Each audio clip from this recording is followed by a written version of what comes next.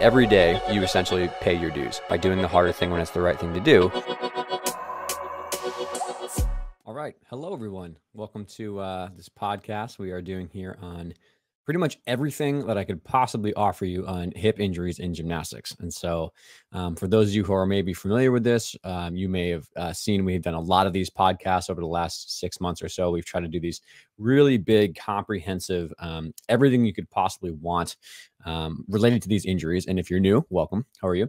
Um, my name is Dave Tilley. I am the CEO of Shift and I am also a sports physical therapist. I did gymnastics my whole life in college uh, as well, and then I've been coaching gymnastics for about uh, 15 years or so now, coming on cl- probably close to like 20 now that I think about it. But essentially, um, you know, I've spent a lot of time in gymnastics. I've spent a lot of time treating gymnasts for hip injuries, uh, and I've been really fortunate to work with a lot of um, club, you know, recreational uh, and competitive as well as uh, NCAA and elite international gymnast for a variety of injuries. And hip injuries are very commonly one that we deal with. So, uh, in true form of what we've been doing with these blogs and these podcasts, is I really want to make a one stop shop for someone who is looking for information on gymnastics injuries. Okay, so whether that be, you know, uh, what are the common injuries? Um, why do they happen?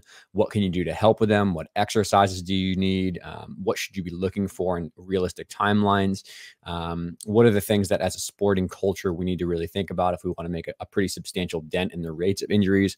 So we're really going to kind of go through everything here, and my hope is that by the end of this, um, although it will be long and although it will be a little bit um, more kind of in depth, um, we're going to timestamp everything, break it all up into categories so that you can find whatever you need on a certain injury or a certain topic. And this also is all in written form as well.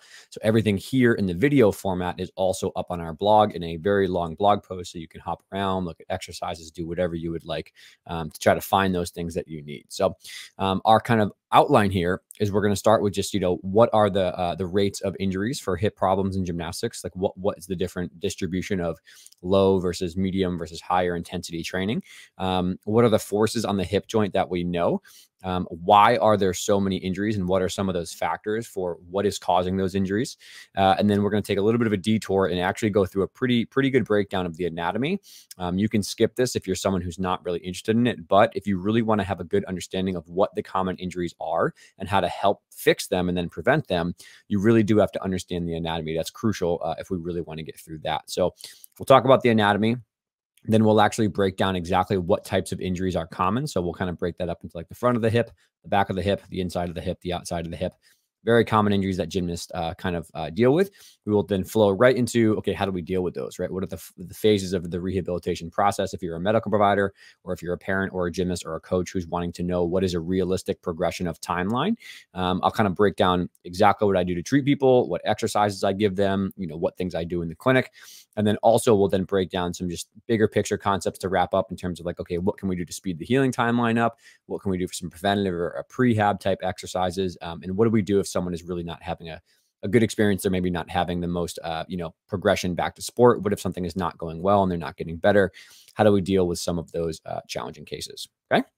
So that's kind of our overview, and we'll get started here. So when you look at the research on what are the rates, so some good studies are around. It's interesting because you'll see that you know although hip injuries don't uh, present as the the most common thing in gymnastics for injuries, right? Ankle sprains and back pain are usually the highest.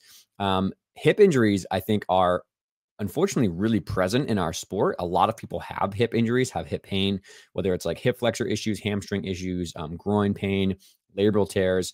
Um, a lot of people are having hip injuries, but they're not as commonly reported because I think a lot of people have overuse hip injuries that they unfortunately think are just normal and part of training.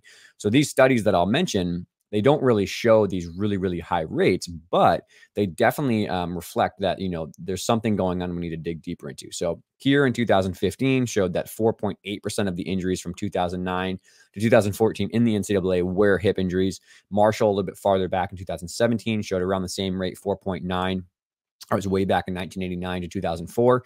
Um, Chandra is a more recent study in the college gymnastics situation from 2014 to 19. They showed about 3.9 injury uh, percent of the, all the injuries. And then when you look at some of the elite and sub elite categories, we see that you know Kolt showed in 99 that 5.7 percent of injuries in the sub elite or elite gymnastics realm were hip injuries, and then Saluan is a pre collegiate study um, that looked at about 3.1 percent being all the injuries. So you look anywhere between 3. Point, you know 3 to 5, 3 to 6 percent it's not a ton of injuries per you know the bigger picture of all these people in these studies so i think that tells me two things one they're probably underreported we probably have a lot of gymnasts who are suffering in silence with you know hip flexor issues groin issues hamstring issues um, and they don't just they don't you know present those to research studies or they don't go to the doctor for them and they don't end up needing something really really um, substantial until it's a really bad injury that might require, you know, injections or medicine or surgery or something like that. So it's probably underreported. Number two is it tells me that a massive percentage of all these are probably overuse and are probably things that we can make progress on, right? Like accidents, like fractures, or you know, things that really unfortunately just are, are freak freak, uh, you know, moments in time where they fall and they go to the ER those are probably the ones that are reported. So it's probably that a lot of these injuries are underreported, that a lot of these injuries are also just progressive, slow overuse. And I think when you look at the factors for why these things happen, it makes sense about what's going on here. Okay, so that's just the rates there. If you look at the forces on gymnastics, unfortunately, we don't have a lot of great research specifically on okay, what what does the hip joint experience during a switch leap or during a stalder, right? Or doing some sort of like flare work for men's pommel horse. We don't know those forces, one, because they're insanely hard to study, and two, because it'd be very, very tricky for us to narrow in specifically on getting, you know, sensors inside the hip. You'd have to do what are called in vivo studies indwelling force or some way to do it, you know, in open chain. And uh, that's like ethically challenging, but it's also very, very complicated from a, a research measurement point of view. Um, but we do know that the landing forces are astronomical in gymnastics, and that's a huge part of, of part of these injuries. So the peak ground reaction of gymnastics forces on the leg, which you could infer to the hip, is between 8.8 to 4.2% of, uh, sorry, 4.2 times body weight. It doesn't mean that all that force is going through the hip. It just means that that force is experienced by the leg, right? Or the entire lower body. Um, in controlled settings, it's around 15 times body weight, and the highest recorded forces from like dismounts and uh, you know those really really high impact things are anywhere between 18 to 30 times body weight, which is mind blowing when you think about it. But like I said, most of the um, most of the injuries that we deal with in in the hip in particular some are related to like sprinting and running. So hamstrings kind of fall in that category. Some are related to landing, right? Like landing and having some eh, some hip pain in the front. But a lot of these things in gymnastics come to these very unique weird skills that we'll talk about that make you know gymnasts use their arms as legs and legs as arms so because the legs are being used as arms but the hip joint is not necessarily built for it these large ranges of motion these large forces and like switch leaps and switch rings and over splits right these kind of things are probably the biggest uh, drivers of a lot of these hip issues. And that is where, unfortunately, the, the research lacks in telling us what those forces are.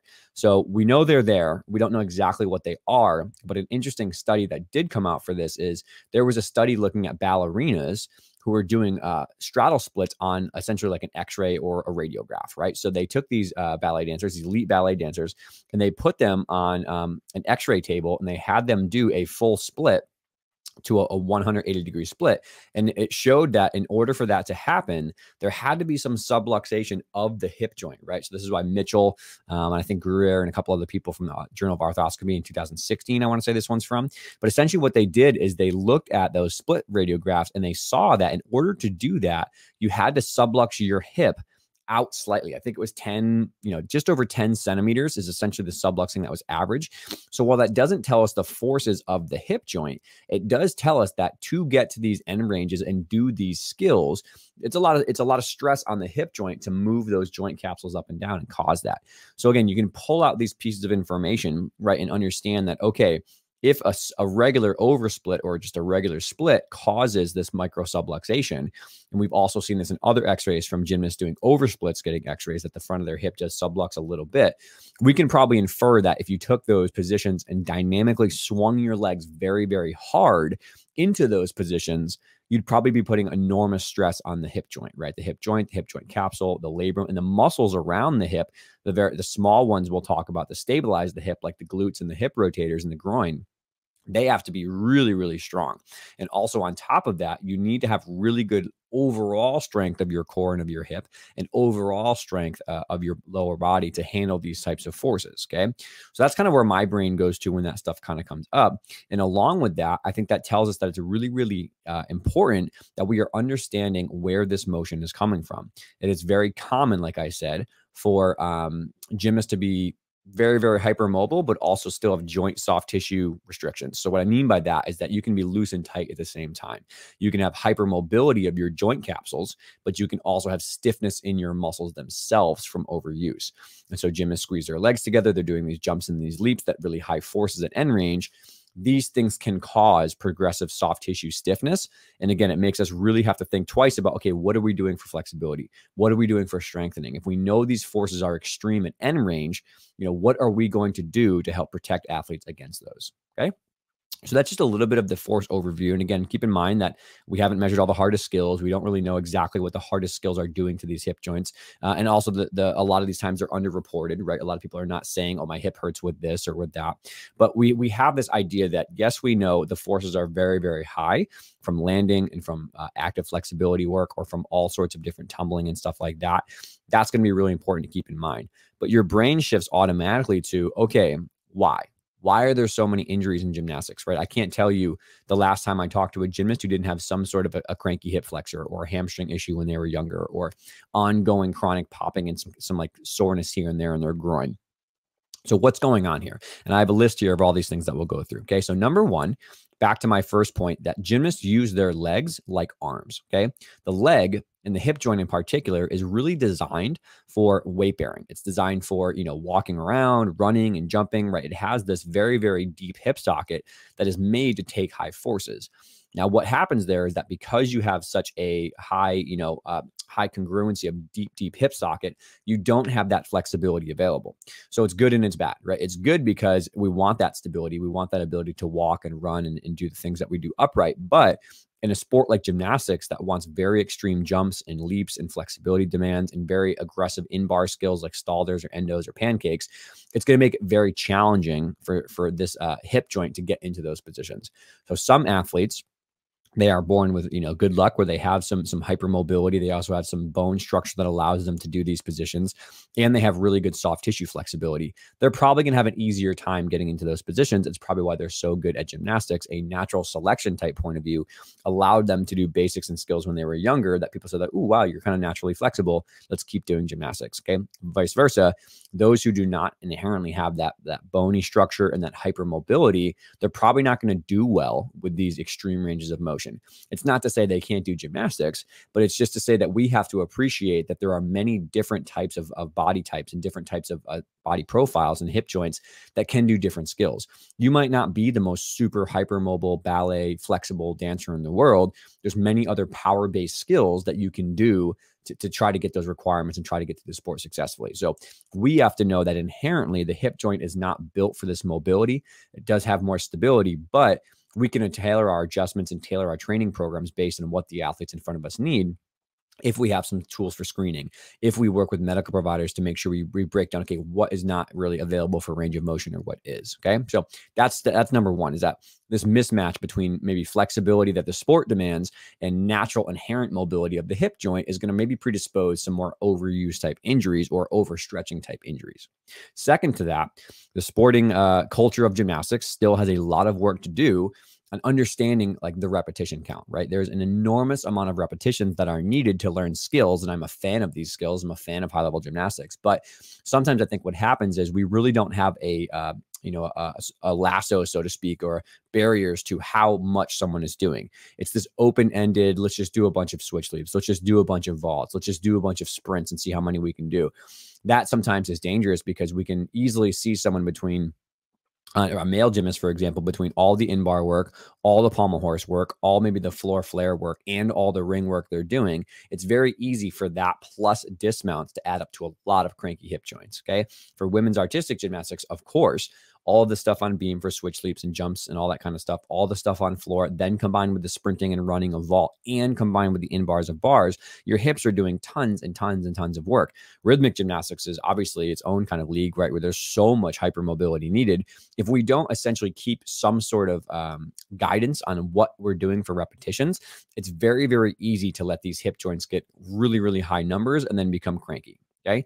On top of that, as I mentioned, these really high repetitions are all really high force skills typically. Even drills and even progressions and even basic stuff, they still require quite a bit of work on the hip. So just doing cartwheel step ins or just doing active flexibility or just doing some stall bar work, right? Or just doing some um, metal bar and low bar work for in bars, it still is a lot of force on the hip. So while not everything is these extreme, you know, very, very high force skills, all of these things really are adding up. So if we have high repetitions, right, and we have high forces, and then as I mentioned, fourth year, we have high ranges of motion of these skills, you can probably see why all these things are coming together to overstress the hip joint, right?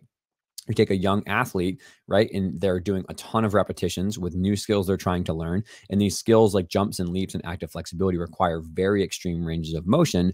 Those all will come together to be why someone's hip flexor keeps getting sore or someone's hamstring growth plate starts to get irritated. So I'm not saying we can't do these things. I'm saying we have to be really proactive and understand that these things exist the high forces, the high ranges of motion, the high repetitions, and plan for these things.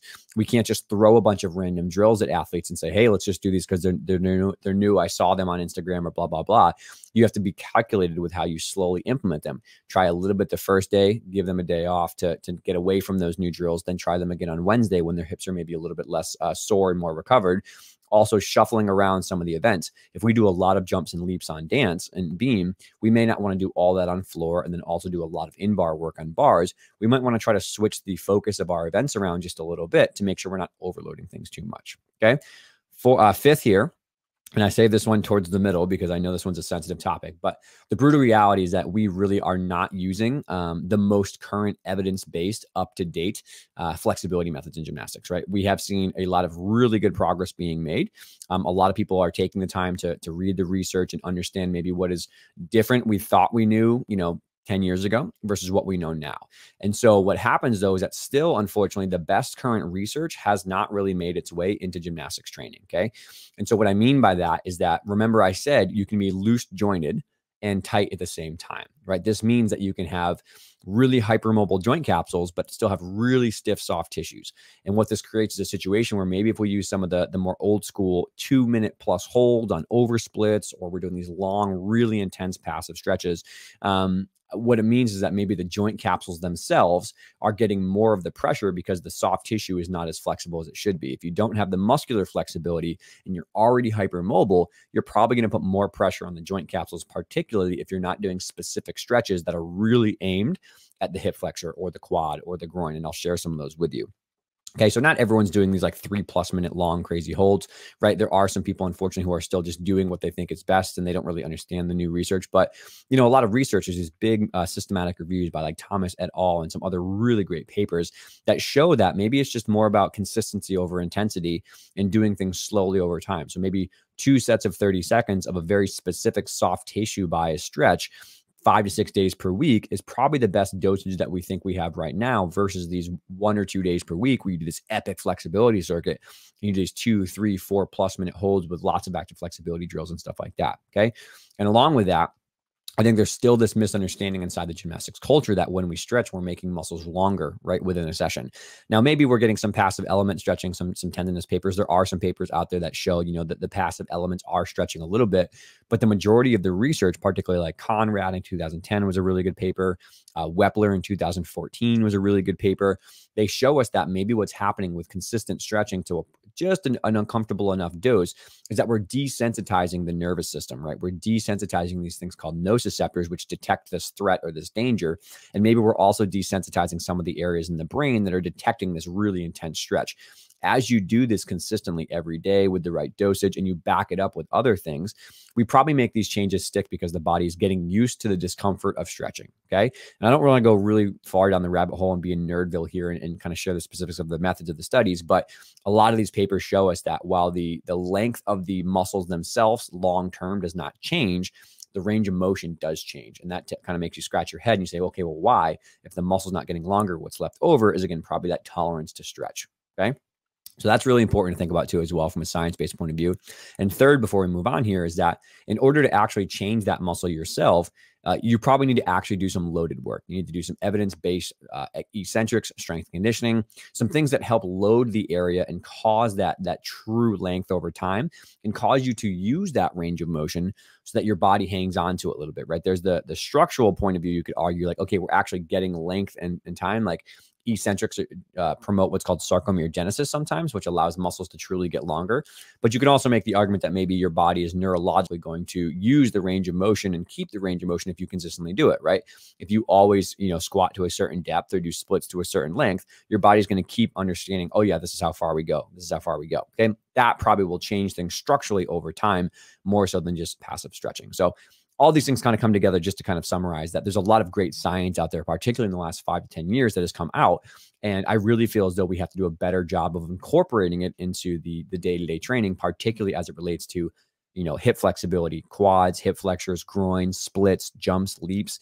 You know, active flexibility is great. I believe we should be stretching every day in a warm-up dynamic and a little bit of static stretching here as the research supports it. But it's more about a holistic view based on what all the research says. The research supports soft tissue work. It supports um, some uh, regular stretching, right? Specific muscle based stretching based on the anatomy, right? It supports eccentrics, it supports uh, strength conditioning programs. These are the things we want to be using consistently to really make sure we're getting the best of that that you know muscle specific stretching. We want to bias the muscles because the joint capsules probably are already a little loose jointed. So that being said, on that, it's really important to study the anatomy as we'll talk about because the anatomy dictates what types of stretching are the most effective, right? Like that deep hip flexor lunge that we see also commonly everywhere. Yes, it's aesthetically pleasing and it has a time and it has a place. And I want I want people to know I I encourage those things to be done like in dance circuits. But if you have somebody with a very, very stiff hip joint and you're trying to get them more mobile, doing that deep overarched back position where the hip flexor actually starts at the spine, if you understand the anatomy, we're probably not getting the most out of that stretch for the hip flexor. Okay. So those are just little tweaks we need to understand how to make is okay, how do we tweak these things to get the specific muscle stretching we need for splits and for jumps and for leaps, but also protect the hip joint as well. All right.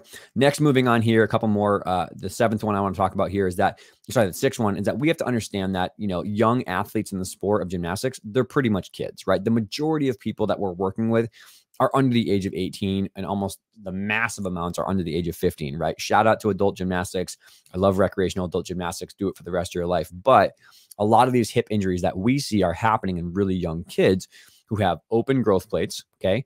They are not at the peak of their strength and their power from a hormonal or a puberty point of view. And they're just not developmentally there understanding how to activate their muscles, how to have high body tension, how to really put good strength conditioning into place, right? So they are also going to be someone who is challenging sometimes to, to keep these uh, safety wise because they, they're just not really quite all developed yet, right? And I mean that in terms of physically developed, mentally developed we don't want to expose a 10 year old or a 12 year old with open growth plates to these extremely high jumps and leap circuits all the time because it might irritate the growth plate of their hamstring. Okay.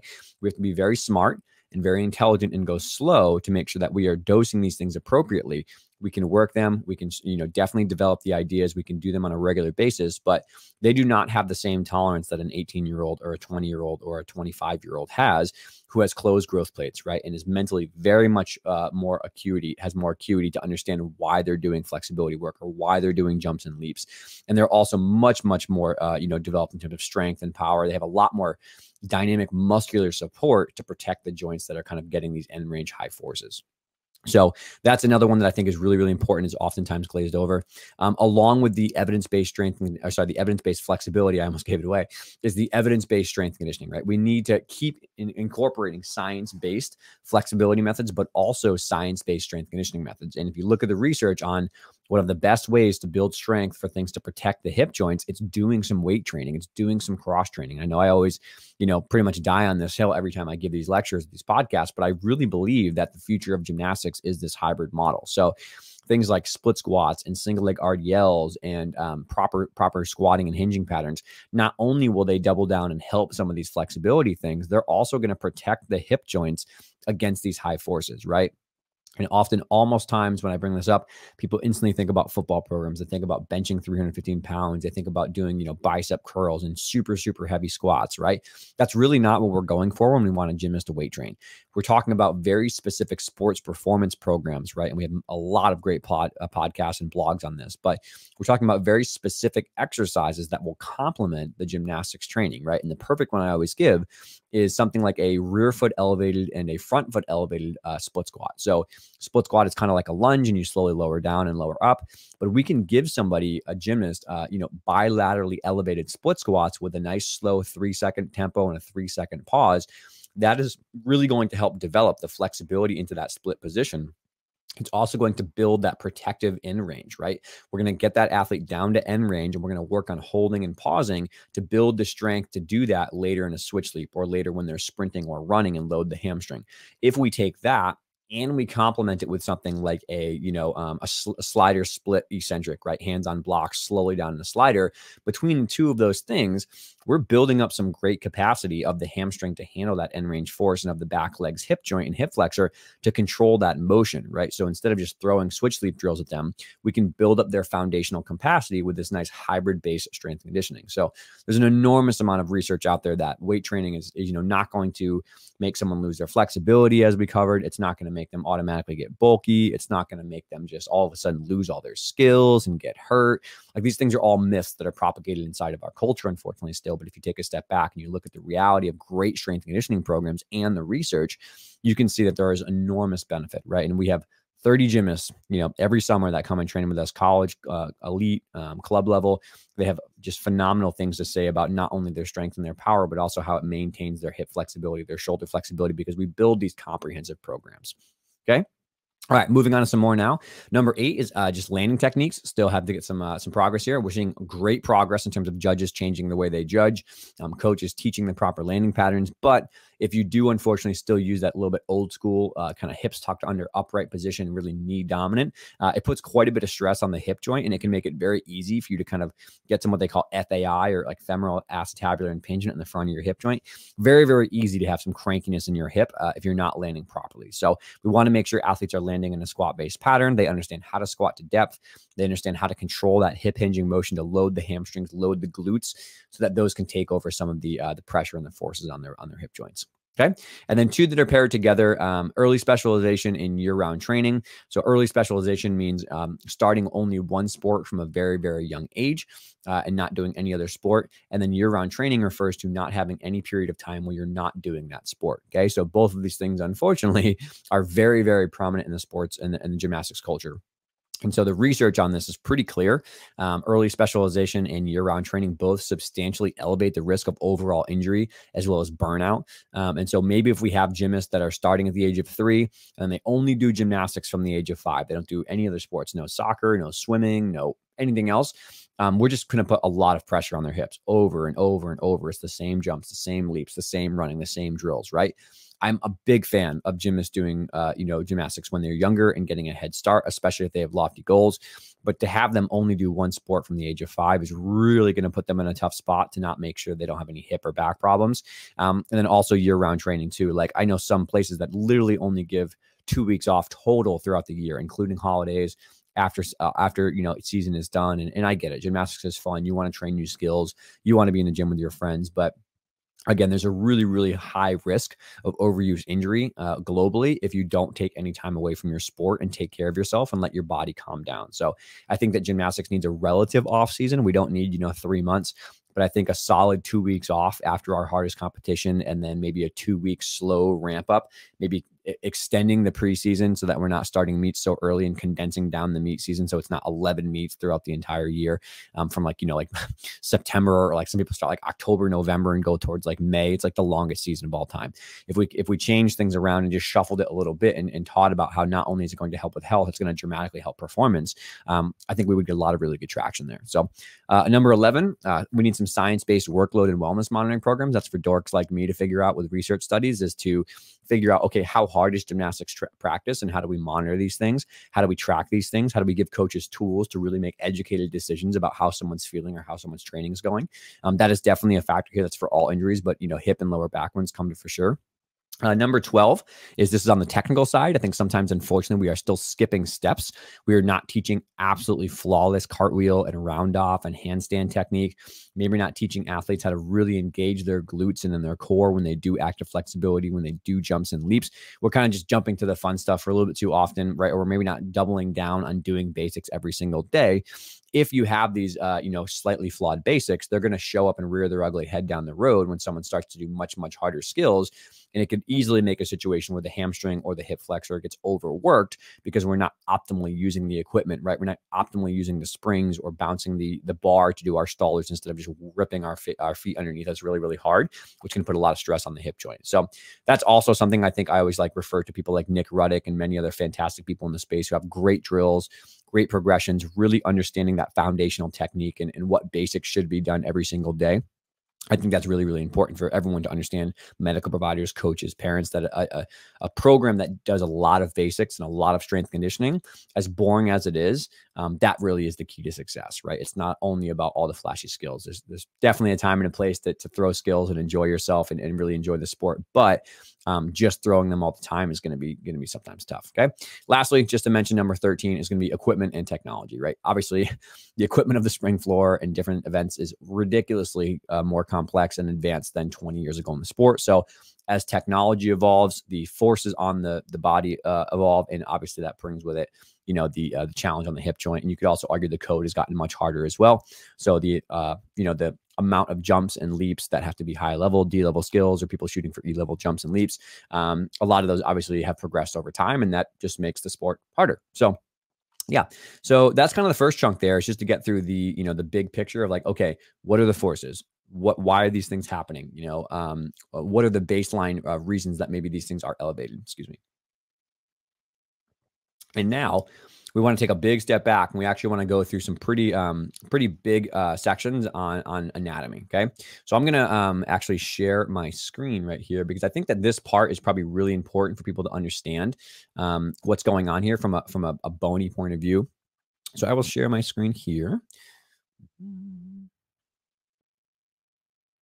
that way, I think this is just a little bit easier to see. So I'm not going to um, blow the PowerPoint up all the way because I want to make sure I can see where my slides are going.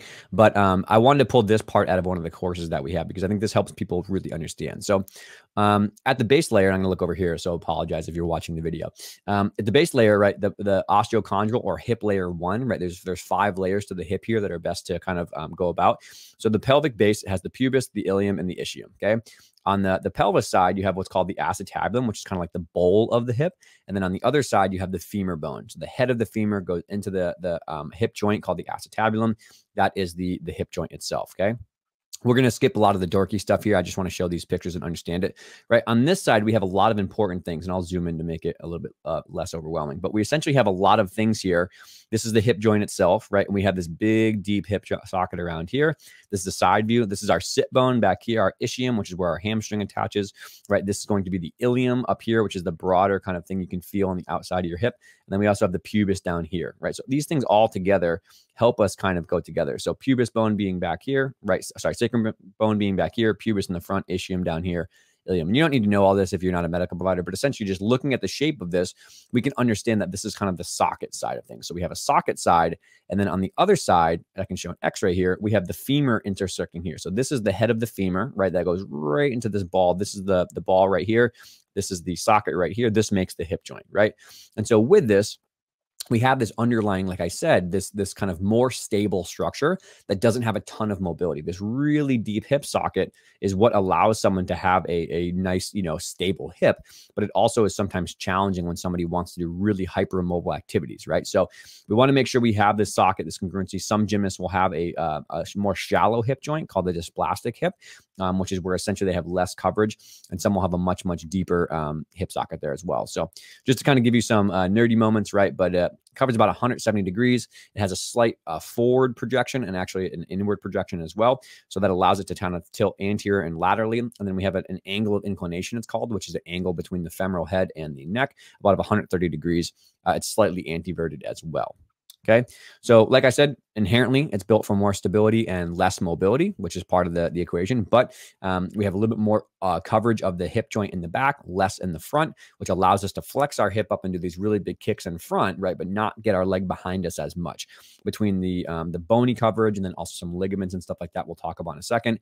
Not as much flexibility naturally behind us, but a lot more flexibility, right? You can put your knee to your face for some gymnasts. You cannot put your the back of your knee to the back of your head, right? It doesn't work that way. So that, a lot of that is from a bony point of view and also from ligaments and soft tissue point of view. So that's kind of base layer one. I rather I don't, I don't want to go super in depth, but when you have a look at a couple more things here, some some notable structures if you want to take a peek at these.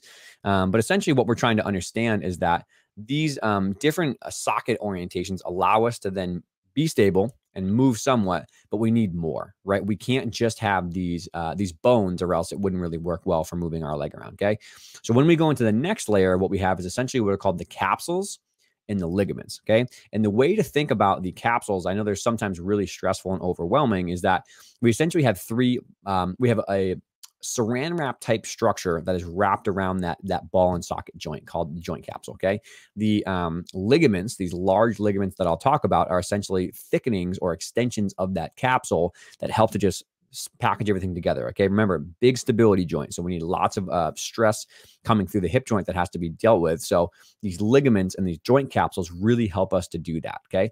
They are uh, some are on the front, some are underneath, some are on the back, and they they obviously will limit different ranges of motion based on that. The ones in the front will limit the leg going backwards. The leg, uh, the the ones underneath will limit the leg going out to the side and the ones in the back of the joint will limit the legs going straight ahead this way. Okay. So we'll break these down one by one and we'll talk about the labrum, which is another thing that a lot of people talk about um, and is, is, definitely important to understand. So the first big ligament to understand is called the Y ligament or the ligament of Bigelow. Okay. So for the dorks out there, this one's for you. If you don't care about this stuff, skip ahead 20 minutes and just, you know, get to the injury section. But I think it's important to understand this stuff. Okay. So the proximal attachment of the Y ligament is the anterior inferior iliac spine. Okay. The splits um, have two splits that go across. One is the lateral arm, one is the medial arm.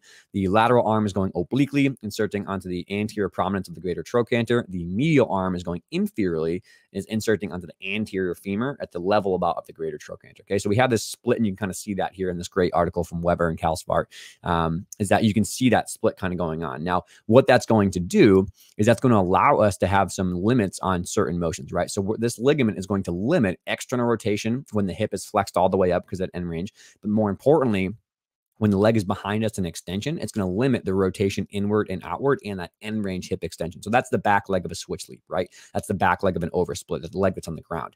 This ligament is very much helping to check that range of motion so we don't have any substantial issues.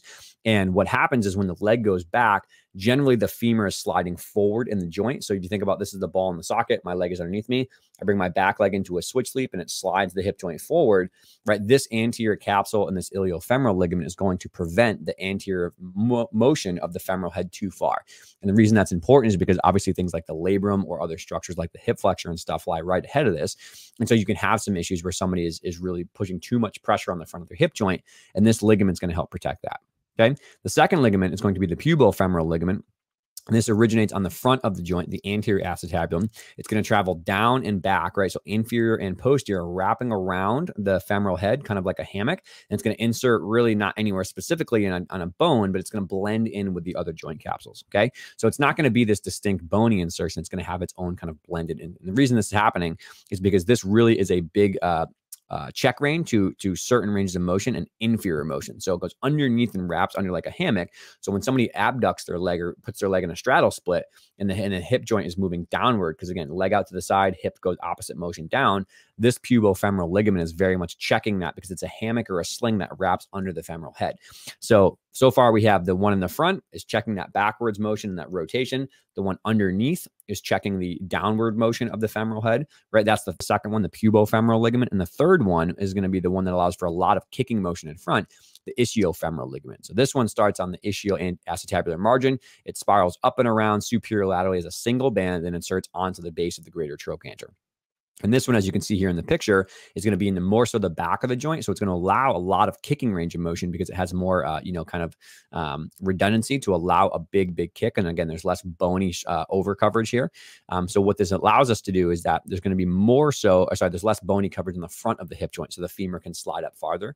Um, but what this one is going to do is it's going to limit the internal rotation during a flex position and an end range and extension. And it's really going to restrict that that big posterior sliding, right? So when you hug your knees to your your chest, the hip joint goes backwards and down, and because we have a lot of space in the bony uh, structures in the front to allow that, your hip is really built for this flexing motion. But this is going to limit this uh, ischiofemoral ligament will limit that end range of uh, IR and flexion together. Okay, so those are the um the the major ligaments. Okay, there is one more called the uh, sorry two more I guess. The ligamentum teres is going to be this um you know kind of smaller uh, ligament that's inside of the hip joint and attaches up to the uh, the fovea, the capitis. Right, it's really more so for like blood flow there are some thoughts that it's like a joint position sensor too as well for proprioception, but it's more so inside the hip joint. So it goes from the femoral head right across.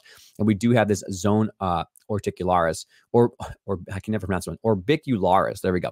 That's essentially uh, just limiting the traction of the joint. So it wraps all the way around, kind of in this like suction seal along with the labrum, and it helps prevent this traction force that would maybe would distract the joint a little bit. So those are the main kind of um, ligamentous structures, so the capsules and the ligaments. I do want to take a moment to go back and highlight something very important, which is going to be the labrum. Okay, so the labrum essentially, as you can see here in this picture, and I'll zoom in for a second.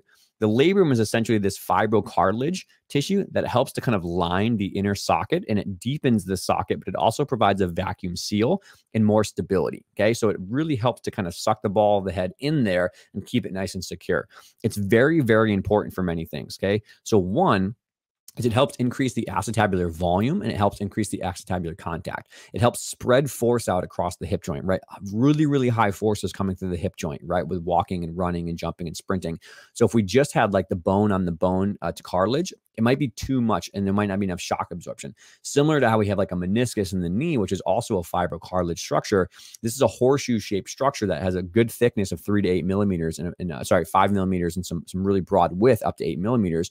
It's going to allow us to take those high forces of impact and, and move the hip joint around without having any, any wear and tear, so to speak. Okay. So it kind of acts as that buffer, but it also acts as a really important seal of like an intra-articular pressure is maintained, which means that it allows a lot more, um, you know, force distribution. And also it really helps to keep that suction going. If we didn't have that suction, it's a lot more sliding of the hip joint all around. And that is what happens with micro instability. If we have a labral tear or we have some hypermobility plus some damage, it's very easy for the hip joint to start sliding around way more at those extreme ranges of motion. When you extend your leg all the way back, if those bones run out of room and that femoral head is sliding forward and you have a labral tear and you don't have this vacuum seal, you're probably going to get more motion of the femoral head and that can cause some hip flexor strain, some groin strain, some labral damage. And this is a really common mechanism we see in gymnastics is extreme end ranges of high force, like I talked about, causing the labrum to become irritated over time. Okay. So we need this labrum to really protect against some of these things. It's really, really important to buffer and transfer load. It maintains that vacuum seal. And there was a great paper from Shu that showed that a loss of that suction seal it needs about 60% less force to distract the hip. So if we lose that seal, it's really, it's quite a bit easier to distract the hip, which means slide the hip around a little bit. And again, that might start to beat up some of the soft tissue, some of the joints, some of the cartilage, stuff like that. The labrum itself can become more irritable. And it does have some healing capacities, more so in the front of the anterior labrum, has more blood flow, not as much as the back, um, but also it, it, has more thickening right uh, on the back side than the front side. So that's again why you hear about a lot of labral tears in the front and the inside because of the less thickness there and uh, unfortunately more predisposition to get some irritation. Okay. So that's layer two, right? And then we're going to move on to layer three, which is what a lot of people will probably be more familiar with, is going to be all the muscles, right? And I don't want to go like, you know, a six hour dissertation here on all the muscles that we need. But essentially, it's easy to break these things up into the front, the back, the inside, and the outside, like quadrants or compartments. Because when you get to injuries, that's also how to think about these things. Okay. Is the pain in the front, the back, the inside, the outside? What structures are underneath there that could be irritable?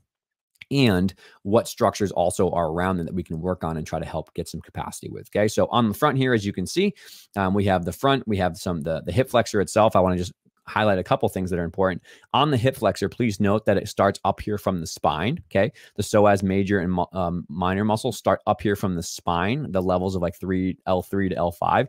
They cross across the front of the hip joint and then they insert onto the hip after blending with the uh, iliacus here. And the reason I bring this up is because when you think about, again, hip flexor stretching, if I have a really overarched lower back, I'm actually slacking the hip flexor here. So instead, what needs to happen is I need to tuck my hips under, squeeze my glute muscles, get my core locked in, because that will be a true hip flexor bias. Same thing with the quad, right? The rectus femoris has one muscle that starts from way up here. The rectus femoris is one of the four quad muscles. It starts way up here on the pelvis goes down across the knee and starts down to the bottom of the shin. So again, if I'm trying to stretch my quads, and I have a really overarched position and I'm bending my leg up, I'm probably tipping my pelvis forward into an anterior tilt and I'm not really biasing this quad stretch. You, it's interesting to see some really high level athletes that I've worked with, high level gymnasts who come in and they like, you know, they say they have hip issues. We tweak their hip flexor and their quad stretch, and they feel raging quad and hip flexor stretch they've never felt before, just because we're biasing the muscles and we're taking some pressure off the joint capsules. Okay. And then we also have some smaller muscles, the tensor fasciae latae. We have the sartorius, which also acts a little bit as a hip flexor. Okay. And a very important note, note here is that while these groin muscles are typically bucketed on the inside of the leg, they very much help assisting the hip flexors as well. So the adductor longus and the adductor, uh, sorry, the adductor longus and the pectineus, the position of them allows them to help with hip flexion, particularly when the leg is behind you. So if your leg is behind you, say in a switch leap or you're sprinting, to pull that leg back through to land or pull that leg through back through to sprint, these groin muscles are actually very, very active. Okay. So I see all the time that people are doing a ton of hip flexor work and a ton of quad work, and they still have really stiff, quote unquote, hip flexors.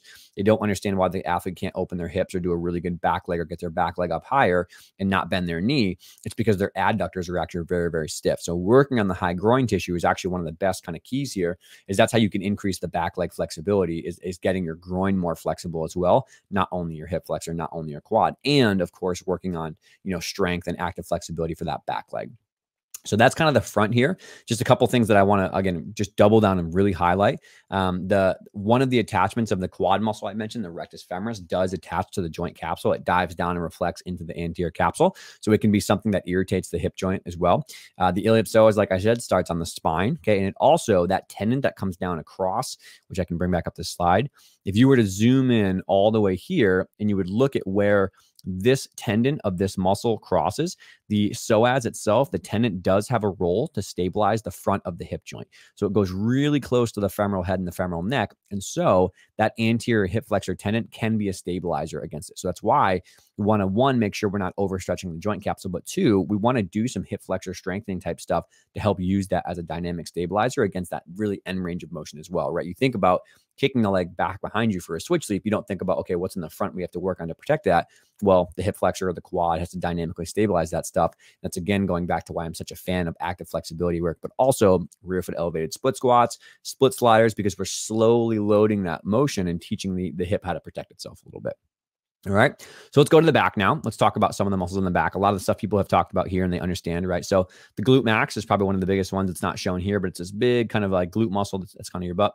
That's on the back there. And that's a big muscle to help extend the hip and rotate the hip and land. It's very important to run and jump. It's a huge power producer. The uh, hamstring tendons uh, themselves start just below that. And they, they actually are composed of two muscles. The semimembranosus and the semitendinosus are on one side. And then we have the biceps femoris. And then again, uh, along with the adductors and the groin, which we'll cover soon, um, the adductor magnus is super, super important to work with the hip extensors as well. It's particularly with deep squatting. So when you squat down really low and you come up out of the hole, um, that essentially is the first 25 to 50% is, is a lot of adductor magnus work. And then the glutes take over and the hamstrings help out. But keep in mind, again, when that front leg is in front of you, when your leg is really far in front, you want to switch leap, pulling that leg back down, the adductor magnus is very, very active. Okay. And it's a lot of times why girls will get um, strains and, and hamstring strains is because that very extreme range of motion puts a ton of stress on the hamstring and it puts a ton of stress on the uh, groin, the adductor magnus. And if we're not doing strength and conditioning to load these muscles and get them stronger and more mobile and eccentric training to prepare them at end range, right? This is why people might have high hamstring growth plate irritations because it's just too much workload and the extreme range of motion they're not prepared for yet. And it could be that maybe this muscle is underdeveloped. We're not doing enough groin strength, direct loading of the groin, the hamstrings to keep up with the sport of gymnastics. Gymnastics is really good at doing a lot of hip flexors, a lot of leg lifts, a lot of quads, a lot of squats. But gymnastics is very, very bad at doing deadlifts and weighted hip lifts and groin work, Copenhagen planks, um, side plank clamshell work, really intense, heavy work to get enough to balance out the other ones. So have to really keep that in mind. Okay, and just a few notes on this one as well. Okay, the common hamstring tendon is where the growth plate is. So those big, big muscles come up, they attach right to the growth plate, which is right up here. I'll zoom in. Okay, so right here is we is where the growth plate would be. So you see these giant muscles come all the way up and they attach to this growth plate. You could probably see why it's easy for someone to get a hamstring irritation if they're a young athlete and their growth plate is open. That's going to kind of be the, the weak link in the chain, so to speak, until they they go through puberty. So that's one thing to think about, right? Two, there's just an enormous force on on the hamstring and on the, the high hip, hip bone um, with running and sprinting and jumping. So the back of the leg, the hamstring, the glute, stuff like that, they take an enormous amount of force in gymnastics with running, sprinting, landing, jumps and leaps, active flexibility, switch sides, as we'll talk about with like um, you know the groin muscle straddle split, stuff like that, are enormous amounts of force on the hip joint. So there's always this kind of tug of war that we have going on between the front and the back, right? We have a tug of war between the glutes and the hip flexors and the quads, so the hamstrings and the glutes. We also have a tug of war between the the inside groin muscle and the outside muscle, so the, the adductors and the, and the outer glutes to kind of keep that balance. We also have a, a, tug of war between the motion of, of turning your hip in and kind of turning your hip out. So internal and external rotation. There are no direct internal rotators of the hip like the shoulder, but there are a lot of muscles that contribute to it. And um, we have a lot of muscles that externally rotate the hip because that's really important. So there's always this tug of war between front to back, side to side, in to out. We have to train these all equally if we want really, really good hip performance and really, really good hip, hip health. Okay. And then uh, we've talked about a couple of these already, but these are the groin muscles. So you can kind of see them here. So we have the adductor brevis, the adductor longus, the magnus, right? We talked about how the brevis and the longus do have a role in the hip flexion and that the magnus has a role in hip extension. But keep in mind, the main goal and the main function of the, of the adductors is very much bringing the legs together. So it bringing the legs together, but also stabilizing, especially on one leg. So all these muscles on the inside of the groin, they work to push the leg front to back in assistance with the other things we just covered, but they also pull the legs together and they also really stabilize on one leg, which obviously we know that's really, really important for gymnastics. So we do want to train these muscles we want to make sure they're definitely taken care of. In gymnastics in particular gymnastics you know has athletes squeezing their legs together for a living for good form. So it's very very common for these to get overworked and under underused or sorry under attention. So lots of flexibility work lots of strength work for the quad the hip flexor the glutes the hamstrings but completely neglecting the groin completely neglecting the inside of the hip. And a lot of times you can have groin pulls but also you can have athletes who are very very imbalanced between how strong their groin is and how strong the outside of their hip joint is. And that can put quite a bit of stress on the hip joint itself and cause some irritation. So we really want to make sure that not only are we, we on top of flexibility, we're on top of like eccentric strength work because that's exactly what's going on with gymnastics. Okay. I'm not going to go through and kind of repeat the things I just said about the um, adductors kind of rolls front to back, but just really keep in mind that the adductors are very very important to synergize with the the front and the back of the hip joint and with the core okay? The core has uh, your your stomach muscles some of your stomach muscles attach really close to where your groin muscles also attach. So sometimes you can have things like inguinal uh, pain or you know sports hernia or stuff like that. And a lot of this time i think it comes down to just really good physical preparation and really really good workload programs to make sure we're not overloading this area Okay. And then, very, very important as well, uh, kind of rounding up the next layer is that the outside of the hip joint has some very, very important muscles that are crucial for jumps, leaps, sprinting, landing, in bars, right? These muscles that literally rotate the hips through, do that swim through motion or do that kind of pulling and pushing motion in jumps and leaps. I think oftentimes we really undertrain them quite a bit in gymnastics, right? So we have the glute medius and the glute minimus right, which are on the outside of the, the hip joint here. So one, they bring the leg out to the side, right, for a straddle jump, but they also are pretty much the main stabilizer of landing on one leg. So if you don't want to fall off beam, right, you need to have a very, very strong outer hip muscles. But sometimes when you land on one leg, if you're not strong enough, the hip can drop down and you can actually cause some pinching of the groin in this kind of compression of these two bones together. So it's very important for gymnasts to have very, very strong outer hip muscles to perform well. To, to sprint, right? Sprinting on one leg requires an enormous amount of outer hip strength to kind of balance that, that side to side motion as you're trying to run straight ahead. If you have really not developed outer hips, it's really hard for your hamstrings and your quads and your glutes to make you run really, really fast. So I've seen some athletes that have enormously strong quads, glutes, hamstrings, but they don't have any strength on the outside of the leg and they kind of wobble back and forth when they run. They can't produce the power they need for their really, really good vault sprints. So we have these glute medius and the glute minimus. We also have some really important deep hip hip rotator muscles. So piriformis, the, uh, the gemelli, the obturators. These are, are essentially called like the hip rotator cuff. So on the shoulder, we have these smaller muscles that help keep the ball in the socket.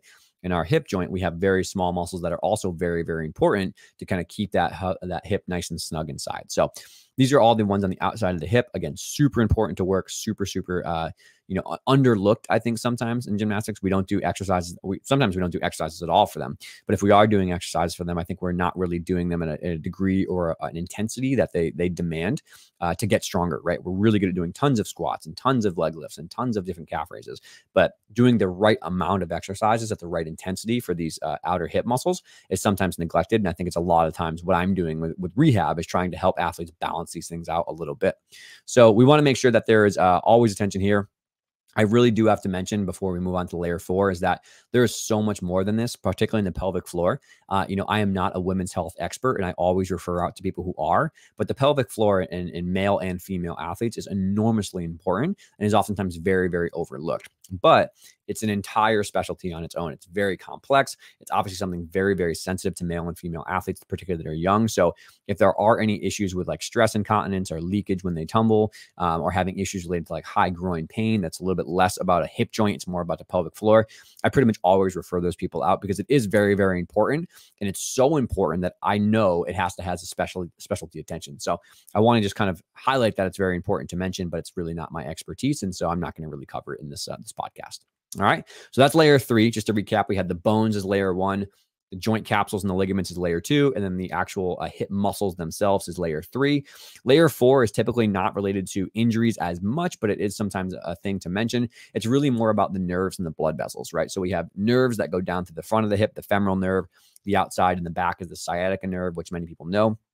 Oftentimes, you can have irritation of the sciatic nerve alongside a hamstring issue or irritation of the femoral nerve alongside of a groin or a hip flexor strain. So, I don't think people are going to be, you know, diagnosing and going in depth into femoral nerve, you know, neuritises and stuff like that. But it is worth mentioning that the, the L4, L5 kind of goes down to that sacral region, blends back. The femoral nerve, L2, L3, L4, is kind of in the front and the groin. And then the obturator nerve is L2, L3, and L4 kind of has fibers passing through the psoas major and kind of coming out the inside as well. So that's there. And then of course there are very big blood vessels. There's the femoral uh, femoral blood vessel, femoral vessel, um, femoral artery, I should say, is more specific. Femoral artery is inside there. We have very large, uh, you know, blood vessels throughout the entire hip. But again, in terms of what gymnasts commonly deal with for injuries, they're much much more rare and they're much more, um, you know, not common things that we see.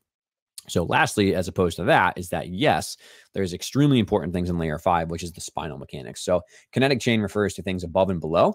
So, the back and the, the hip joint is really one and the same, right? Like you can't treat the lower back without treating the hip and vice versa. So, when you overarch, right, or extend your back, it actually drives motion inward. So, internal rotation of the hip is driven by this anterior pelvic tilt versus posterior pelvic tilt is kind of driven by external rotation and getting more space and clearance. And the reason I bring this up is because many gymnasts have an overarched posture. So if you have an overarched posture and you're landing in that position or you're running in that position, it predisposes a lot more possible irritation of the front and the inside of your groin because you might be kind of compressing those bones together, the, the socket and the ball and the femoral neck could be squishing onto each other. That's called FAI. So oftentimes you can have this kind of FAI and you also sometimes can overstress your hamstring. If you're really anteriorly pelvic tilted, it can put a ton of predisposed stress on the growth plate and on the hamstring muscle itself. So I actually have seen a lot of gymnasts who have chronic hamstring problems who are doing all the right exercises, but they actually have never fixed their anterior pelvic tilt or their posture because maybe their groin is very stiff, their adductors are stiff, their hip flexors are stiff. They don't know how to run and, and sprint in a way that keeps their pelvis slightly tucked under. So they keep straining their hamstring with jumps and with leaps and with running because they haven't fixed this kind of postural mechanic. So that's something just to mention is that it's really important to understand how uh, the arch or the, the hollowing of the pelvis drives some of these things. Okay. And then also we have to make sure that we're thinking about not as, you know, not as super common, but the, the ankle flexibility is super important here too. So if someone has really stiff ankles, it's going to be challenging to squat to full depth. And it might be really, really challenging for someone to land properly. So, not always, you know, the, the biggest thing I've found, but if someone does have really, really tight ankles, they're coming back from a hip injury, I want to make sure we teach them how to land properly. I'm going to teach them how to also work on their ankle mobility so that they don't have any problems down the road. So those are kind of the five layers of the hip. And I know we took a big, you know, detour there to kind of go into Dorkland, but I think it's really important for people to understand that. And so, with that in mind, with anatomy, now we can talk about injuries because now we understand okay, what are the, the anatomical pieces behind that? Okay, it makes sense now why somebody has a groin strain. It makes sense why somebody has a hamstring strain, as we talked about. But we're going to go in a very similar way I'm kind of going to go through, you know, the front of the hip joint, the back of the hip joint, the inside, the outside, just to kind of match that template to help people's hand, help people kind of wrap their head around a little bit. And I'll, and again, I'll use some of these um these slides here to help up because I think the pictures are really really helpful. So let's talk about some injuries. Okay, so for the hip joint itself, right, what are we going to think about? The most important one I think I want to talk about first is going to be like ligament strains and labral tears. Okay. So it's really a combination of all these factors together, which is going to be like the bone can be irritated, the ligament can be irritated, the capsule. But the reason I bring it up first is because although it's not the most common, not everybody has a labral tear. In my opinion, I think it's the most, um, hmm, it's the most misunderstood and it's the most glazed over, right? A lot of times you'll hear in gymnastics like, oh, here's the hip flexor strain. Like, oh, she just strained her groin. Like, she'll be okay. Over time, these things can be really serious. And this picture is actually from a former student of mine who was a collegiate gymnast. This is her hip joint. She had a huge labral tear from years of gymnastics and doing really inappropriate flexibility methods and getting pushed on and splits and kind of going way too hard and not having strength conditioning behind her. Um, she has some really big hip issues. She's had four hip surgeries since graduating from college, which is crazy, right? So I don't think it's something that we need to go freak out and everyone has a labral tear, but we have to understand why these things happen. Okay. So labral tears are going to be typically because of this combination of all these things, right? We have really high forces, right, on end range, and we have really, really extreme ranges of motion. So you take someone who's doing switch leaps all the time, or is doing really intense flexibility work, or really intense jumps and leaps over and over and over again. Remember that the the strain on this labrum comes in end ranges of flexing your hip up and rotating, or when you swing your leg behind you really, really hard and do a lot of volume that way, that too can irritate the labrum. Okay. So in this situation, the hip micro instability might come from overuse. It might come from having really, really stiff groin and stiff quad and stiff hip flexor, plus hypermobile joint capsules, as we talked about. It might come from poor flexibility methods. Maybe someone doesn't have enough glute and outer hip rotator strength to keep up with these high forces maybe all these things together is going to slowly just put some pressure on the labrum over and over and over to the point where it starts to again have some irritation. Maybe it just stays there, just gets cranky and the joint gets sore and you feel some groin pain for a while. If it keeps going on, the labrum itself can tear and that obviously can cause some really huge issues with that suction seal, which then further propagates, unfortunately, more irritation and more instability. Okay. The other thing I want to talk about here is a lot of the times we have what's called a fulcrum mechanism. So, again, think about, and I can show you this picture that I, this sweet stick figure that I drew to help illustrate this.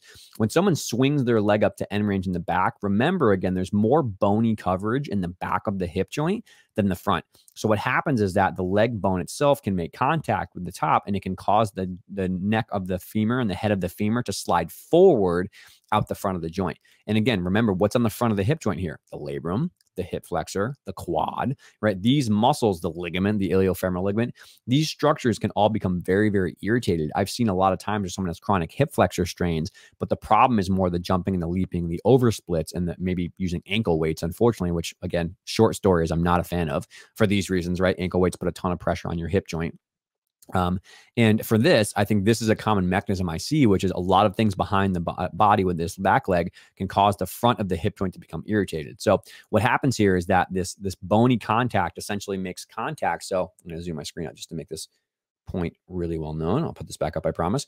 So when your hip joint looks like this, if you're standing right, and this is the coverage, when you swing your leg backward, you can see how this this is really your femur. This this contact happens and it causes tipping out the front. So that tipping out the front, that fulcrum mechanism is what micro instability of the hip is thought to be. If I'm doing it the sideways way, I'm doing a straddle split. So I'm here. If I straddle my leg up to end range and I hit that side of my acetabulum that wall, it can cause the tipping downward, right? So the groin pain could happen this way. The front motion, it doesn't happen as often because there's more space in the front of the hip joint to flex your leg up really, really far.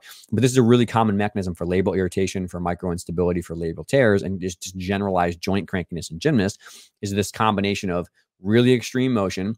Maybe my soft tissue flexibility is not all there. I have really hypermobile joints and the workload is way too high and it's putting pressure on the front of my joint. Not to mention, if I have open growth plates as a young kid, I could be straining my hip flexor and my growth plate as well.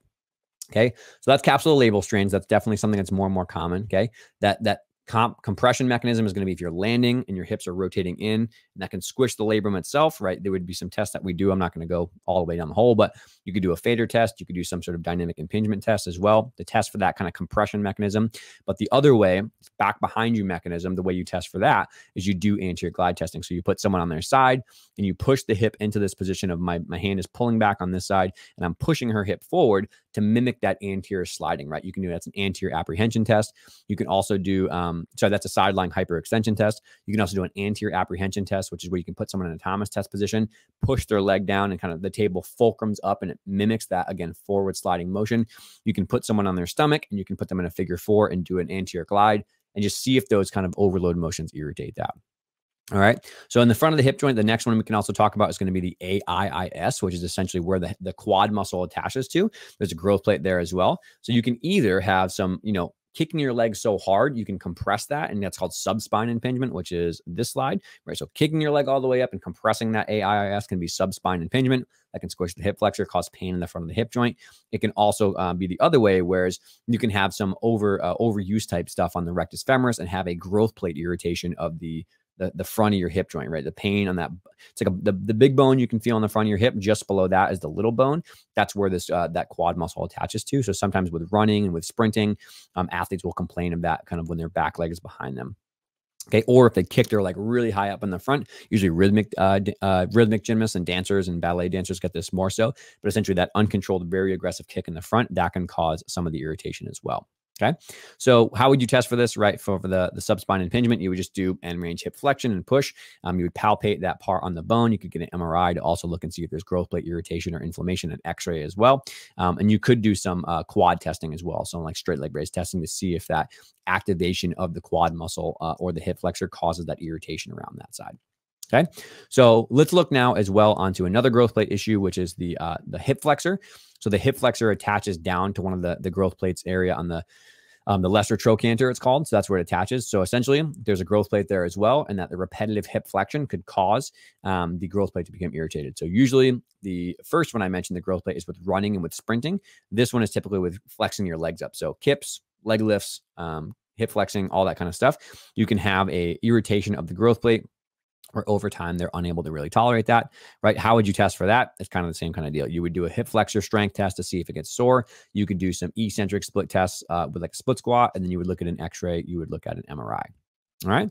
Uh, next thing on the front of the joint, and I know I'm kind of just glazing over them. I don't want to have an entire dissertation here, but essentially stress fractures, right? So stress fractures are uh, unfortunate. They're very, very uh, important to deal with sometimes. So you can have uh, stress fractures, which are either tension sided, tension sided, or compression sided, right? If somebody has uh, a tension sided stress fracture, you want to definitely make sure somebody is getting to the uh, X-ray right away because it can be very, very concerning, right? So you want to make sure that someone is going to have imaging when they have possible. But these are like not so specific, right? They're these dull, achy, they come on with, um, you know, high workloads, they kind of come back, stuff like that.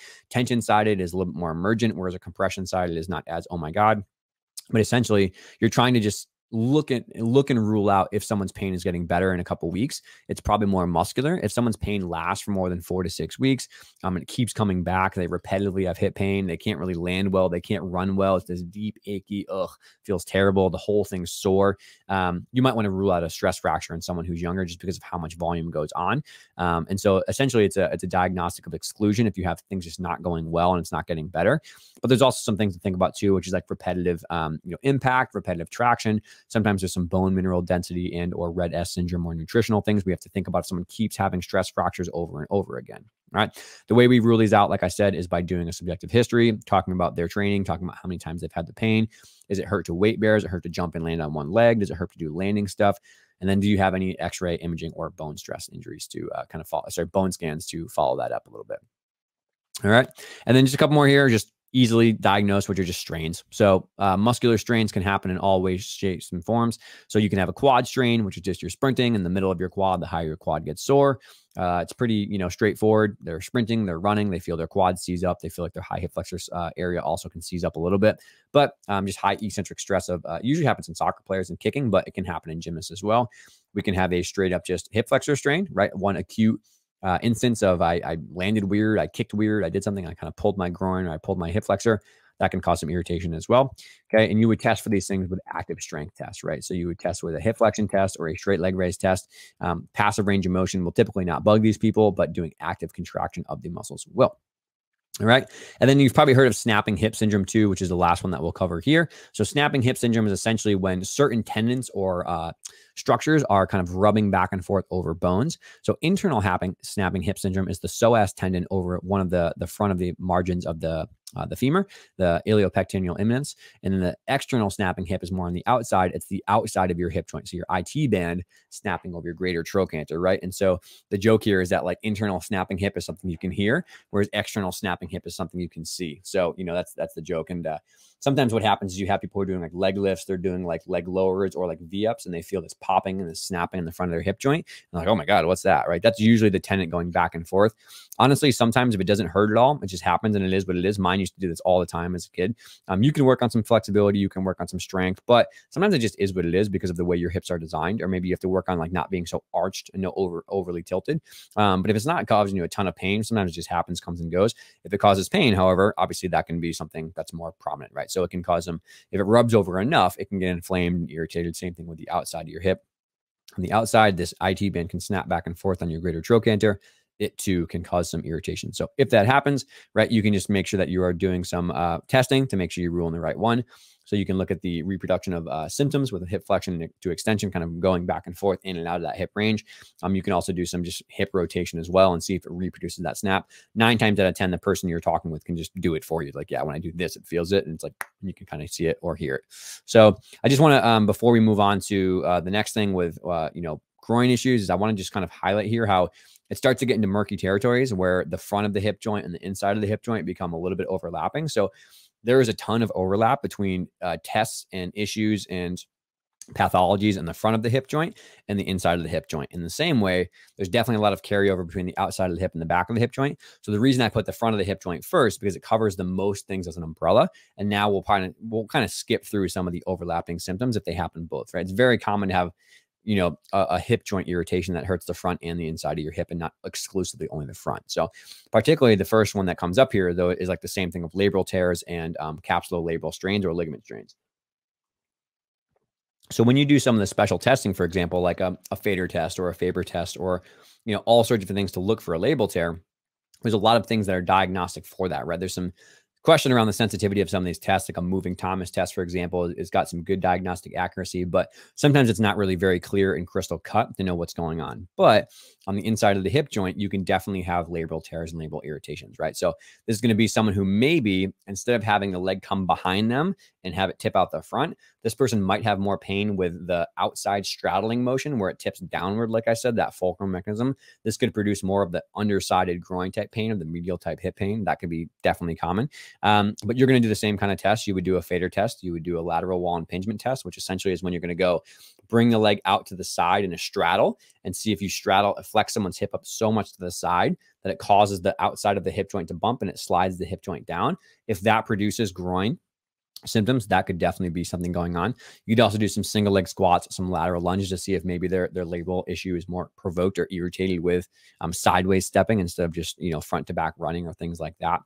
Okay, the other thing that's going to happen too with there is going to be instability, right? So in the same way that when you slide your when you kick your leg behind you and it slides the leg the hip joint forward when you kick your leg to the side as i just said it slides your hip joint down so somebody can have not so much uh, labral irritation but they can have some micro instability from that extreme end range of motion i just said how the ballet dancers, you know, when they're in x-rays, they sublux their hips inferiorly to get that motion to kind of show up. Well, that can be the same thing here. What can happen is, and you can see this with this test, is that if I straddle and bring Jan's leg all the way up to the side, you can maybe hit the wall of the outside of the hip joint and slide downwards. This is a lateral overpressure test. And so you're looking maybe uh, we'll talk about in the lateral section. It could cause pain on the outside of your hip joint from the bony impingement. But in this situation, you're looking to see if that end range of motion of, of bringing the leg up to the side causes groin pain, causes like, because you're thinking that you're hitting the wall and tipping downward.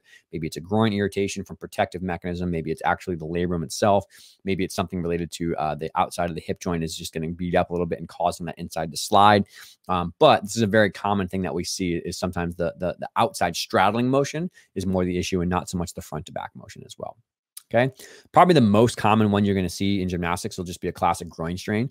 So lots of like, you know, sprinting, jumping, switch sides, all that kind of stuff. Like I said, we have to remember that certain groin muscles are acting in assistance with the hip flexors or in assistance with the, the hamstrings. So they can also be prone to strains. So I think a lot of times I see someone who has like switch leaps or sprinting, they get a high groin strain and the adductor magnus that they think is a hamstring problem when in reality it's the groin. Or like I just talked about, they do switch sides and the groin muscles get strained because they're actually working to snap the legs together too as well. So you're going to see these show up quite a bit as like, you know, switch sides or eccentric loading, sprinting, running, jumping. If we're not being uh, diligent to slowly add in active flexibility drills or slowly add in new workloads on like jumps and leaps and in bars in particular, um, very common to have someone strain their groin and it takes like two to four weeks to calm down. So I'd highly cautious people to not just take a bunch of drills and throw them at someone in a flexibility circuit. I'd really be careful about that kind of stuff. Okay. The other thing we see it sometimes show up on too is going to be with like aerials. So uh, side aerials in particular, is someone can be on that base leg, as you can see down here. This base leg is down and behind. That puts quite a bit of stress on the groin itself. So when you're kicking in this front leg, this back leg groin could be getting irritated a little bit. So that's something to also keep in mind. So the way that we are going to um, test out the different types of adductor strains is based on what we know those things do. So with someone who has a hip flexion, oops, sorry, a hip flexion bias, right? Right? We're thinking about the, the adductor longus the pectineus. We'd want to see if when that leg is behind them, so say like in a uh, the trail leg of a forward uh, lunge, that could be something that is maybe more irritated by the the groin muscles in the back working as hip flexors. So also we could see if somebody wants to have just a straight sideways uh, bias for the the inner adductor muscles. When they do a lateral lunge that might bias just the straight inside and that could be you know showing for that groin strain. Versus if we're concerned somebody maybe has like an adductor magnus strain, a deep, deep squat or doing like a front kick or a lunge, we would kind of provoke those symptoms in the back a little bit. So you can kind of test out different strength, right? The front, the inside of the back, based on what things you think. If you think it's an anterior adductor strain with switch leaps behind, you could test out those. If you think it's more of a side to side straddle or a switch side motion, you could test those out. And if you think it's more of a hip flexion based bias with the adductor magnus, you could test that out as well with hip flexion. Okay. So next, we also have some symptoms related to the um, joint-based snapping, like I said. Uh, earlier, we, we talked about those uh, kind of popping and clicking, things like that. But mechanical symptoms are a little bit different when we talk about the joint. So snapping hip syndrome, which I referred to, is more like the, the tendon snapping in and out. That's outside the joint. The groin based issues of like mechanical symptoms are very concerning because we're worried about a labral tear or we're worried about like possible loose bodies. So if somebody has like it, it pops, it clicks, it gets stuck, um, it hurts a lot when that happens when I pivot my leg back and forth. You scratch your head a little bit about like, okay, let's let's try to see what's going on here with you know an imaging or an MRI or an MR where they put dye inside the hip.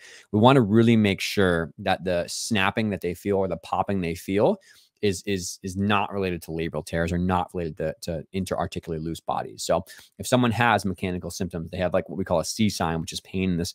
They make a C or they wrap it around their hip. If they have a C sign pain, they're popping, they're clicking, they're catching, they're having trouble squatting, they're having trouble doing rotational movements in and out. You, know, you scratch your head a little bit and you want to do some diagnostic testing to rule out the snapping hip and maybe a groin strain versus a true uh, intra-articular pathology. And I have had a lot of cases where they think it's just a groin strain. They think it's just a sore adductor for a while, but in reality, it's something more serious. So you want to keep those kind of uh, aha moments in mind. All right. So next, let's go on to the uh, back of the uh, back of the hip, which is obviously going to be the biggest one everyone talks about. And this area is going to be the hamstring. So the hamstring can kind of be broken up into are you past puberty are you before puberty? So if you're before puberty it's going to be probably a growth plate irritation right? The, the pain is going to be really high up in your buttock on your sit bone. And again we talked about that growth plate is up there where all these giant hamstring muscles attached to. So you're going to have what's called ischial apophysitis. So ischia refers to the ischium that back of the sit bone okay? The uh, apophysis is the growth plate and itis equals inflammation. So this is inflammation of the high hamstring growth plate Okay. So ischiopophysitis is the formal dorky uh, word, but essentially what this is saying is that the hamstring stress is putting so much pressure on the on the growth plate that it's becoming inflamed. And also remember the sciatic nerve is right next door to the growth plate as well. So it's very, very painful. Very, very painful, but it's also sometimes very, very, very frustrating because everything in gymnastics requires your hamstring to be stretched. So if you're before puberty, it's probably going to be an apophysitis. If you're after puberty, it then gets broken up into okay, is your pain at the tendon way up in that uh, attachment point? Because now that your growth plate is closed, the tendon of the hamstring is probably taking the most irritation. Or is it more lower down in the hamstring belly, right? Is the soreness down in the middle of your thigh, which is more like a mid belly strain? So you can have growth plate issues in pre puberty. After puberty, you can probably have hamstring tendon issues or different strains or grades of, of hamstring stuff on the bottom. So the reason that this um, comes up for the growth plate irritation is again, rapid growth, right? Your leg bones, your femur bone in particular, grow much, much faster than your hamstring can keep up with. And so it puts a lot of tension on the growth plate attachment because you're kind of pulling on it like a string. But also, too much eccentric overload with jumps, with kicks, with sprinting, right? And maybe a spike in workload where we might throw a bunch of drills at someone or they come back from a vacation and jump in too fast, or maybe they're not doing enough physical preparation and staying on top of it. Those things are going to cause some irritation of that. And then after you get out of puberty, right, the same things would also cause maybe a um, a hamstring strain or a hamstring tendinopathy. So, uh, strength conditioning has definitely been shown to be a really, really good way to help out with this. So, if you don't slowly prepare, say your high speed running or your jumps and leaps over the course of a couple of weeks, and you throw them all in at one time, it can cause an irritation in someone's uh, hamstring a little bit. So, the way that we would test for this is we're going to do at apophysitis, right? We're going to test a passive straight leg raise all the way up or maybe end range hip flexion. They're going to feel that tugging high up in their hip bone. You'll also know that someone's probably, you know, pre-puberty and you'll get an x-ray that shows, you know, some irritation of the growth plate or an MRI. Okay. For someone who's got a, a tendinous issue in their hamstring, you would do some high eccentric loading and you would have them run, you'd have them sprint, you'd have them kick their legs and see if that bugs it a little bit. You could also do some active straight leg raises or some dynamic drills, um, skipping and things like that, lunging, like step up lunging to see if that bugs the high hamstring. And you'd kind of rule in a little bit of the uh, the hamstring as the issue. Okay. Very close next door to the hamstring and to the, the growth plate, again, is the sciatic nerve. And so I think this is less common, but sometimes very, very important to, to not miss. Is that if you have a nerve that goes from your lower back all the way down your back of your leg and wraps around your foot, and you're kicking your leg at a very uh, high frequency, you can have a situation where the nerve itself becomes very, very irritated and causes some tingling or some pain down the back of your leg. So sometimes what I'll see in someone is it's not so much that their hamstring is not flexible, it's that the nerve is getting overly stretched when they kick, when they jump, when they run, when they sprint, when they step in for in bars, when they do in bar stalders, when they do jams or talks for guys gymnastics. So this is a very different phenomenon, which they tend to get like tingling, they get pins and needles. Um, when they when they stretch a pike stretch, they feel tingling in the back of their leg, which by the way, putting someone in a pike stretch and pulling your toes up into, into toes up flex position and leaning on them or pushing them down might be stretching their nerve more than their hamstring. So keep that in mind. Um, but essentially, the nerve gets irritated because it is getting overly stretched. And so this is a little bit different of a test, which is instead of just doing a passive leg raise, which you can see here, I'm bringing Jan's leg up, right? And what I'm doing here is I'm not flexing her toe, right? A sciatic nerve tension test. I'm going to straighten this leg. I'm going to flex her toe up and I'm actually going to cross it across the midline towards me over here towards the camera. And I'm going to tug that sciatic nerve. I'm going to wrap it around the greater trochanter. If I get her to a point where she feels that nerve tension and then I let go of her foot and all of her symptoms go away, we have not changed the length of her hamstring. It's just made the nerve become less compressed. And so that's probably a, a, a rule in that it's more of a sciatic nerve thing and not so much as a, you know, um, sciatic, or uh, sorry, not so much a hamstring issue or a growth plate issue. Okay. And it's worth noting right here that you can have lumbar referral here, right? So it's very important to know hamstring, you know, outer hip as well. Is this coming from the back or is this coming from the the hip itself? And the way I do this is just a repeated motions test. If someone has a disc irritation, if you flex their spine a bunch, you can produce some symptoms in their sciatic nerve. If you extend them a bunch, probably take some symptoms away. So centralization versus peripheralization, you can understand, you know, who's doing that um, and what that mechanism is. You can also do a slump test. You could do a, uh, you know, compression test. Um, those things are going to change the back and cause irritation in the sciatic nerve. All right. All right. Last of the four before we move on from the injury section is just the outside, right? So um, the first thing I'll say is that the the C sign I talked about can overlap sometimes here. So the C sign of joint referral sometimes can mimic or overlap with lateral wall impingement. So if somebody has a hip joint related issue um, and the C sign uh, symptoms show up more with like flexing and compressing like your groin, if those symptoms get worse as you do FADIR tests and stuff like that, you might be concerned it's intra-articular versus if someone's C sign is only produced with like a lateral wall impingement test, as we'll talk about, um, and we already have talked about, like that's a little bit different, right? That's outside the joint, right? The the intra-articular labral tear C sign is inside the joint because the labrum is getting compressed by the femoral neck. The outside the joint is the two bones getting compressed. The lateral femoral neck is hitting the acetabular wall and it's causing a bone bruise.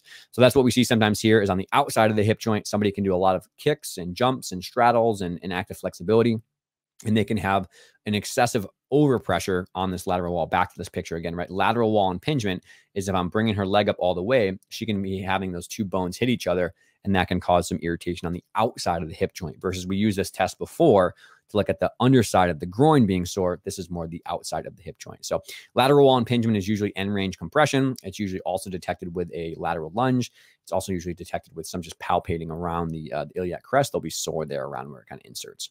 Okay. Also on the outside of the hip joint, which is something that used to be very, very popular, but is now not as popular in terms of diagnostic, is going to be um, bursitis. So trochanteric bursitis was thought to be more from repetitive compression and friction around the inflammation. There's like a, a, a bursa that kind of cushions between the bone of the hip joint and then the outside of the glute muscle. And they thought that this uh, muscle contracting was rubbing against this bursa and it was causing some irritation. But newer research has shown through, you know, some diagnostic injections and also some imaging that maybe it's less about the bursa and it's more about the tendon of the glute med. Okay, so I have this in here as a as kind of a, a filler slide for me to make sure I talk about it. Is yes, I I do think trochanteric bursitis exists, but it's typically not in a gymnastics population. This is in someone who's much much older typically is very sedentary and maybe lays on their side a lot or doesn't have the best hip strength. Um, this is very different than the person that we see, which is a very active individual who is having a lot of um, work done on their outside of their hip.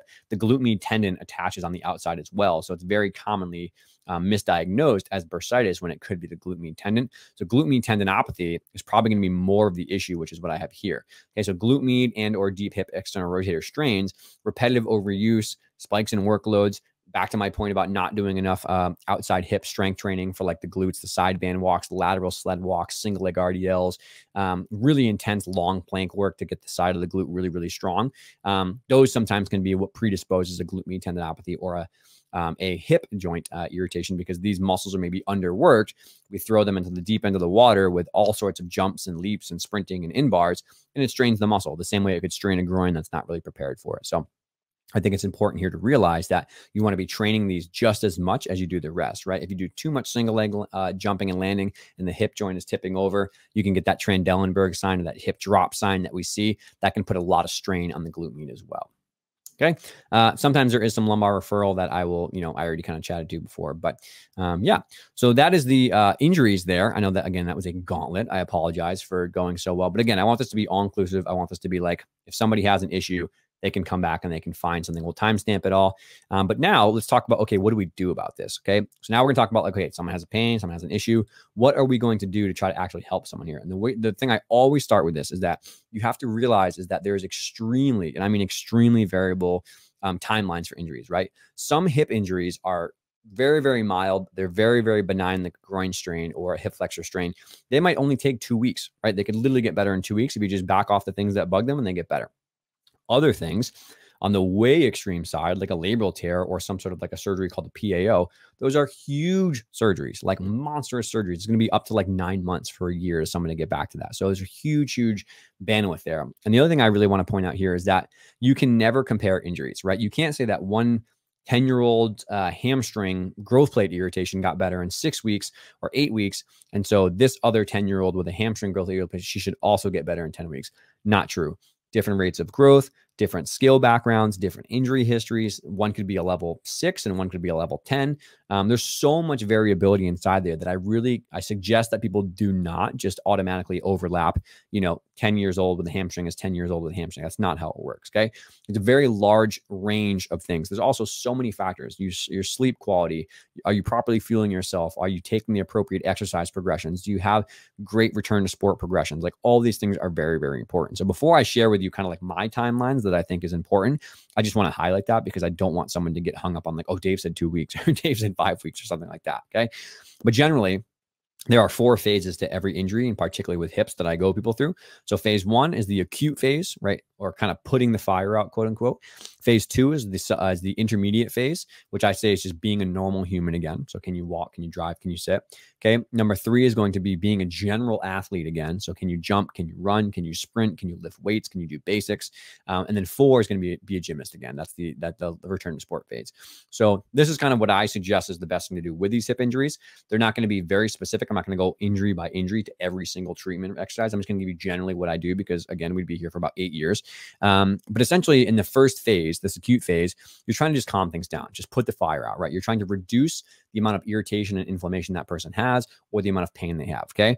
And sometimes the answers that people need to hear are not the ones they want to hear but it's the only way to kind of get through this. Okay. So, number one, you have to reduce the amount of workload on the hip, right? If hip flexion really hurts and you're still doing kips and you're still running and you're still doing jumps and you're still doing active flexibility, it's not going to calm down, right? Like a growth plate needs four to six weeks to calm down if it has true inflammation, right? A hamstring uh, strain needs a couple weeks backed off of high intensity kicking or jumping or running to feel better. So, if we want to see actual progress, we're going to have to reduce the workload itself. Now, that being said, gymnastics is fantastic, but there is a ton of stuff you can still do. I've made very elaborate, comprehensive programs for someone who has a hip flexor strain or has a hamstring strain with tons of things they can do with their core, with their arms, with their prehab, with their dance, with their choreography around their hip as well. So I don't want to say you can't do anything. I think it's actually a really good thing for someone to get in the gym and be with their friends and mentally, you know, be in the right place. Um, but we just got to be really careful about not overloading it too much. You're probably going to need a couple weeks to back off to make sure things feel better. So yes, back off, but also maintain their global activity levels. Can you put your leg up on a uh, stool and use your arms and your other leg to do a bike bike sprinting interval? Can you sit down uh, and do rope slams? Can you do um, arm routines? Can you do bar drills with a spot? Can you do strap bar and metal bar? There's a lot of things you can do uh, if your hip is not, you know, able to kind of swing with it. But that you can also do lots of things to build around that in a, in a strength program or in a, a, physical therapy program, right? There's lots of stuff for your shoulders, lots of stuff for your core that in the end are going to help you get back faster, but they're also going to maintain your sanity while you're there. So back off on the hip specific workloads, but find lots of things that you can do. Closely aligned with that, I think sometimes we undereducate athletes on what things in their daily life are probably causing them pain, right? So sitting in a really deep chair or sitting in a really deep couch or crossing your legs or laying on your side if you're side, like you have to understand what things in their daily life are also going to irritate their hip. Because if they don't know that, nothing you give them in the hour of treatment is going to balance out the other 15 18 hours of their putting stress on their hip so a lot of times i'm teaching someone like oh if your groin bugs you you have to kind of bring a, a you know a, a, um, couch cushion and just toss it in the car and sit on an elevated surface, right? If you can, in the back of school, get up and walk around for five minutes. Tell your teacher, hey, my hip's bugging me. I have an injury. Can I sit in the back and stand for five minutes every half hour or something like that? Don't make it a big deal. Don't run around, you know, do laps, but essentially just stand up and get your hip into a different position. Okay. So lots of things in their daily life have to be really importantly dealt with. It's really important, like I said, that we're always treating the core and the hip together. So you should try to maintain as much possible core activity as you can. So uh, if it's not painful and if it's appropriate, dead bugs, bird dogs, side planks, anti rotation press outs, um, farmer carries, sled work. You can probably find a lot of things that they can still do to keep the core muscles firing because when you get back to actual training, it's going to be really, really key that those things show up. Okay. This is also a time to really address things above and below. So deal with any issues you have in the ankles or the thoracic spine that might be predisposing hip issues as well. Okay, so put those together. Now, specifically for the hip, what do you do? Right? People are like, all right, cool. Like, what do you do for treatment? Right. So I'm very, very uh, happy to do manual therapy and soft tissue work. So whether it's cupping, tools, dry needling, whatever helps. I think that sometimes with overactive and very uh, painful, like groin muscles in particular or hamstring muscles, there's a really good benefit to a short dosage of manual therapy. The majority of my work, though, is really around exercise. So after we back off in this acute phase, for a hamstring, for example, I'm trying to find what is the lowest level of exercise they can tolerate. Sorry, the highest level of exercise they can tolerate without flaring up their pain. Can they do bridge marches? Can they do high hamstring holds? Can they do split squats? Can they do step ups? Can we modify the, the, the range of motion to do a low box step up instead of a high, high box step up? I'm trying to quickly find what is the exercise we can do. Sometimes someone had a surgery, it's really just passive range of motion, right? It's really just passive range of motion, um, very low level isometrics, um, stim assisted stuff, or doing BFR is really, really great here as well. Blood flow restriction training. I'm just doing anything I possibly can. If I can get someone have BFR on, do some knee extensions, some hamstring curls that are pain free, bike with one leg up or in their arms and their leg and just get a global training effect or bike with the seat height really high, that's a huge win for me, right? Sometimes the, the entire treatment session is literally just um, soft tissue work, um, doing some manual therapy, passive range of motion, BFR with stim to do quads, hamstrings, ride the bike, call it 30 minutes, right? It's not super elaborate. It's not super extensive. It's just that quick little dose. But a lot of these times in the first like four to six weeks in particular, of this phase is just calming things down. And that's what I meant when I said they take range. It's about two to six weeks for me, kind of for each phase, depending on the, the, obviously the injury. So two to six weeks for the first, second, third, and fourth phase. If you have an injury that's kind of, you know, low level, not too bad, it could be six to eight weeks to get through all phases. If someone has a huge surgery, it might take six weeks for each of these things. You're looking at six months or something like that, or up to four months. So yeah, all these go together. But acute phase is education, try to maintain the core function, soft tissue work, passive range of motion, um, lots of exercise uh, that they can tolerate. And essentially, I just I just try to calm them down for those first four weeks. Sometimes I don't see them super often; if they just need time. Okay, but once they get out of that irritated phase, whether you're doing hands-on work, whether you're doing passive range of motion, whether you're educating them to not use their hip too much, it's just natural timeline of healing. The second phase is typically again be a human again. So what I'm doing here is I'm first progressing the exercises. I'm trying to get someone into all the exercises that I want for the glutes, for the hamstrings, for the quads. So side um, clamshells side leg lifts, side band walks. Um, Usually, with most injuries, we're not doing direct hip flexor strengthening yet because doctors are nervous about loading that. Um, but if we can do some groin work, some straight leg raises in, in the other direction, that's great. Um, mini squats, uh, mini split squats. We're just trying to do all the things we possibly can. Riding the bike with BFR, we would use BFR for a lot of these athletes uh, when they're going through this phase. But essentially, our goal is just to make a two day program that has a majority of the stuff they're doing. Okay if we can, towards the end of this phase, if I can get them into a full program that's like a squat, a hinge, a split squat, and really build that out, I will. So I try to get to split squats, maybe with two Airex pads. I try to get to low box step ups. I try to get to some sort of a modified squat or some sort of a um, goblet squat to a box, just low depth, um, some sort of hinging. So maybe a, a, glute bridge or a single leg glute bridge with weight. Um, if they can kettlebell deadlift, we would do that as well. All these things are probably really, really good if we can get them to do them safely. And I'm also building in all the extra grunt work I can possibly do. So uh, balancing on one leg, uh, single leg RDLs, um, forward sleds, backward sleds, lateral sleds, um, all sorts of um, lateral band walks, core work, all that stuff is going in planks, front planks, side planks. I'm trying to build the, the most comprehensive exercise program that I can possibly do. That's really the biggest the biggest rock in this phase. Okay. Number three is sorry, number number two in phase two is going to be restore passive hip range of motion. So they might have done a little bit of range of motion, but I'm trying to restore all of their range of motion. I'm trying to make sure they have full hip flexion, ER, uh, IR if it's it's if it's needed. Not everyone needs that. Um, abduction, hip extension. I'm really trying to get soft tissue flexibility going well. So foam rolling, stretching, eccentrics, uh, the soft tissue work, regular passive range of motion, daily stretching at home. All that stuff is going in here because I really want that baseline of that strength. And I want that baseline of that flexibility to kind of be there. We're going to build in any core changes we've done, maybe understanding anterior, posterior pelvic tilt, understanding how to get yourself into a nice neutral brace.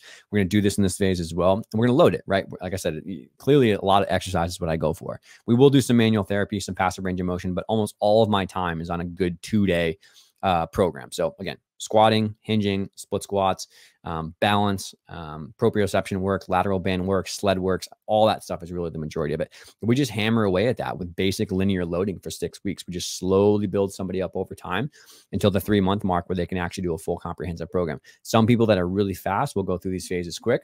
Some people that are really not as uh, able to because their injury is more severe, we might just be hanging on low level BFR stuff for a couple more weeks or a modified range of motion or modified weight for as long as we can until we get clearance until we get to the third phase. So, second phase is really all about exercise, restoring passive range of motion, and then getting their daily life to be okay.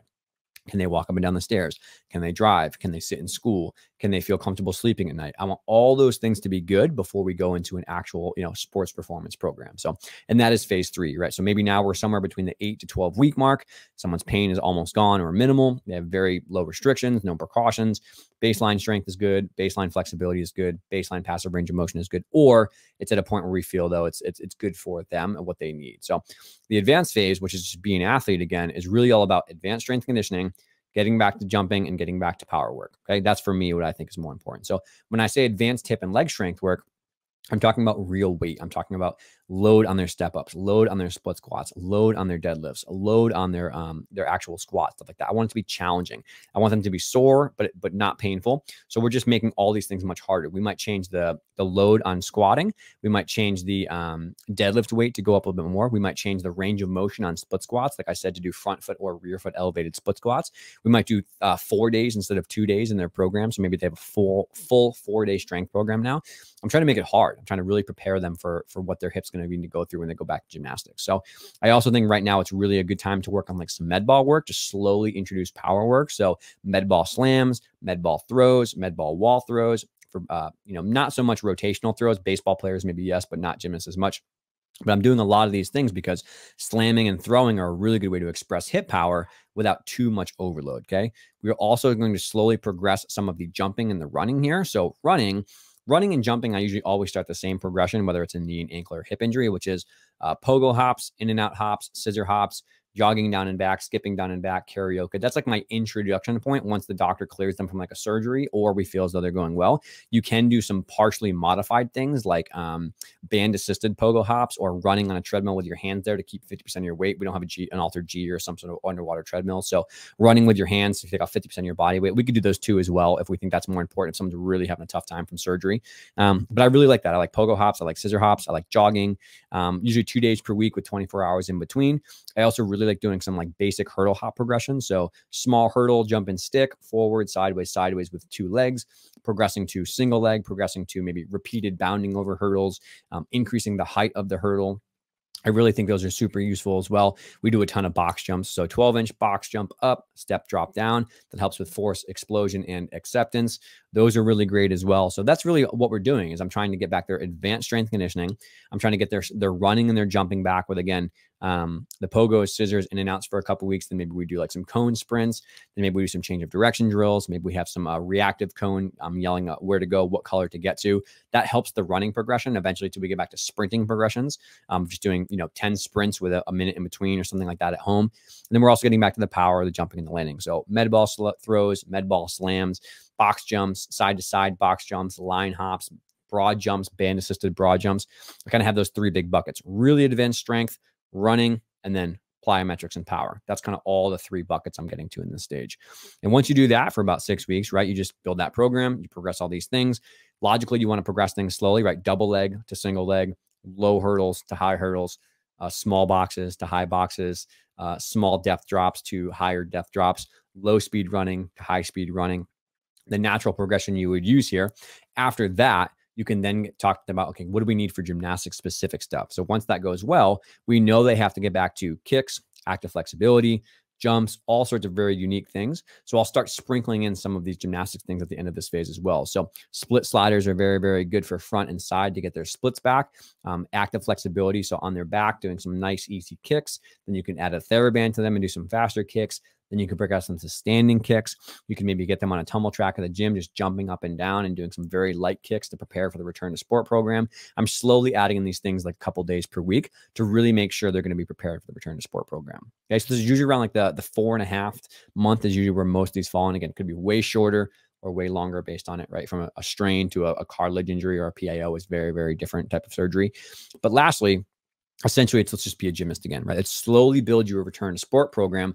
I've taken these from the baseball world of how they did them and i have created my own version that i think is really really successful. So when we build this return to sport phase right we're going to try to make sure that we have a nice slow dosage of gymnastic specific surfaces and skills. The three things we're going to modify and use as our variables will be the surface that they're on okay? So tumble track versus rod strip versus floor the amount of force that is going through their hip per skill so basics on bars versus, you know, uh, swinging on bars versus uh, kipping on bars versus stalders and in bars have a very linear increase in force based on drills to higher skills. And then also repetitions, which is kind of the easiest one, which is how many are you doing per day, per week, per per month. So we're going to start with three days per week, usually, right? I'm usually going to build in their home program into these events so that they're not doing every event every day. In the first two weeks, we're going to start with softer surfaces only. So drills, tumble track, um, very, very easy uh, surfaces for their hip. And we're going to do very, very basic skills. So drills, like I said, in low repetition. So I can't give you an exact number, but it's generally between like three to five of each skill that I try to start with. And we're doing this every other day. So it might be on tumble track for a little bit. It might be doing some basics on tumble track, some basics on bars, some basic cartwheel step ins, jumping on the trampoline we would do that every other day for two weeks and make sure no symptoms increase. Because in my experience, the, the symptoms are typically not during their activity, it's the day after or two days after. So we want to give them a buffer in between to make sure it's not too sore, right? After those two weeks go well, we would then increase the surfaces, right? We'd increase maybe a rod strip. We would start going on the actual hard beam versus the floor line. We would try to make sure we're doing actual, you know, landings on eight inches on softer surfaces and not the hard, hard ground, but it's not the pit. Okay. We would do harder surfaces, we would start to increase the difficulty of those skills. So maybe they're running into a round off whip on um, vault instead of doing a Yurchenko or just doing drills. Maybe now they're doing a metal bar uh, stoop stalders underneath. Maybe they're doing some some jumps and leaps on beam that are about half their their full percentage of their kicking, but they're not doing their full skills. Okay, we would do moderate volumes, so maybe five to seven now instead of just three to five. We would do that for two weeks as well. And then lastly, the five to six mm. weeks, we would start going harder surfaces. Maybe we do the harder skills on tumble track and the basic skills on floor. So maybe they do their their fulls and double fulls and double backs on tumble track, but they do their layouts and their their front tumbling and their front layouts and bounding on floor to mix it up back and forth, right? The skills themselves are harder because we're doing more advanced stuff and the, the, the volume itself stays about the same because of the other two variables being really, really heavy. So harder surfaces, harder skills, but maybe keep the volume the same. So we're not pushing things too fast, too soon. And then lastly, the seven to eight week mark, I usually have people say, okay, you can do whatever you want, but no more than seven of any one skill at a particular time, just to kind of rein in the, the cap a little bit there. So that's kind of the return to sport phase, right? That's the the full. It might be four weeks if it goes fast for some people who have just have strains. One week of each. It might go, you know, eight plus weeks for someone who has a big hip surgery after you know six to nine months of full rehab so that is the entire phase right that's phase one phase two phase three and phase four and then next let's talk about okay what can we do if we want to speed things up a little bit? You know, I, I understand I have to rest, all that kind of stuff, but what can I do? And I think these are oftentimes underlooked. Okay. So, number one is sleep. I think that people don't realize that you have to have a good high quality of sleep. You know, kids probably need eight plus hours of high quality sleep per night. So somebody really wants to maximize how fast their hip gets better and how fast they heal, no magic pills, no magic buttons. But if you can have someone consistently try to, you know, get to sleep at the same time, have a nice cool, cool room around 68 degrees, try to avoid any screens or blue light for an hour before bed they're drinking coffee, cut the coffee off 10 hours before bed. Um, try to not eat too much before they go to sleep because your stomach will have digestion issues. And then maybe in the morning, start to see some morning sunlight, and the evening see some some evening sunlight setting. Those things all have been supported by really good research to set your circadian rhythm and give you really high quality of sleep. So that's really important proper fueling, proper nutrition is crucial here, right? I think um, unfortunately sometimes people think like, oh, I'm not working out, so I'm not going to have as much to eat. But your body's healing, and if you're doing the right thing in strength conditioning and in sports performance, you should be working your tail off in PT. You should be working your tail off in the gym to do what you can around your hip injury. So I am not a nutritionist. I'm not an expert there, but there are many phenomenal people out there.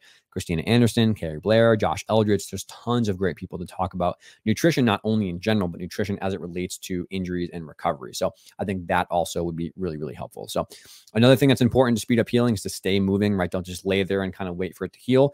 Try to do what you can. Try to walk. Try to be upright. Try to do things that are getting you active. Gets the blood pumping. Get your body going a little bit, right? Rather just sitting there and waiting for it to heal obviously for like two weeks after surgery you have to do that to respect the healing timeline but for most people you can be up you can be doing stuff you can be on top of stuff. Okay? And then next what do we do to prevent this right? It's like okay sounds good got the injuries, got the anatomy. We're in Dorkland. I totally get it. What can I do to prevent this? Right. And these are the things for me that I think are most important. Okay. Number one is we definitely need better workload management systems, right? We don't understand how hard gymnastics is. We don't know the forces on these hips, right? We need to understand, okay, where does this come from if we want to make a good progression back? So that's kind of like I said, for me and other people to work on is figuring out like how do we monitor surfaces and repetitions and how hard the training load is. But that still needs a lot of attention. I think we need a lot more research and funding for that to understand spikes and workloads to prevent that. But that really is the most glaring, obvious thing for me that we need to do. Okay? In terms of what you can do as a parent, a medical provider, a coach, whatever, for sure, far by far and away, the two most important for me are great strength conditioning programs and great flexibility programs. Right? If you are respecting workloads, you're planning your practices, you're not throwing a thousand drills you see on Instagram to some poor child who's just brand new to this flexibility circuit if you're being smart and planning your training, the next best thing to do is to have great strength programs and great flexibility programs. Like there's so much information from myself and others about how do you make a hybrid strength program that uses weight training? When do you start? What exercises? How much weight? You know, how do we prevent some of the concerns that we have? How do we find a great strength strength coach to work with, right? If you want to reduce the risk of hip injuries or the chronic hamstring strains, the chronic hip flexor stuff, I can't promise you that a strength program will do it, but I can definitely say the research suggests it lowers the risk substantially if you're doing them. So really do a lot of good research to figure out who is awesome to, to talk about in the strength conditioning world for gymnastics specifically. And also do a lot of research on flexibility, right? What are the current science based flexibility things to get splits and active flexibility that spares the hip joints, doesn't put pressure on those hip joints uh, as a global thing, but biases the muscles, biases the things that you want, which is great jumps and leaps and angles and in bars and jams for guys, whatever, but it doesn't stress the hip joints too much. Look up how to do soft tissue work, how to do mm-hmm. foam rolling, how to do eccentrics, how to do active flexibility that really, really is high quality. Those two things would make a massive difference on people's program. Okay.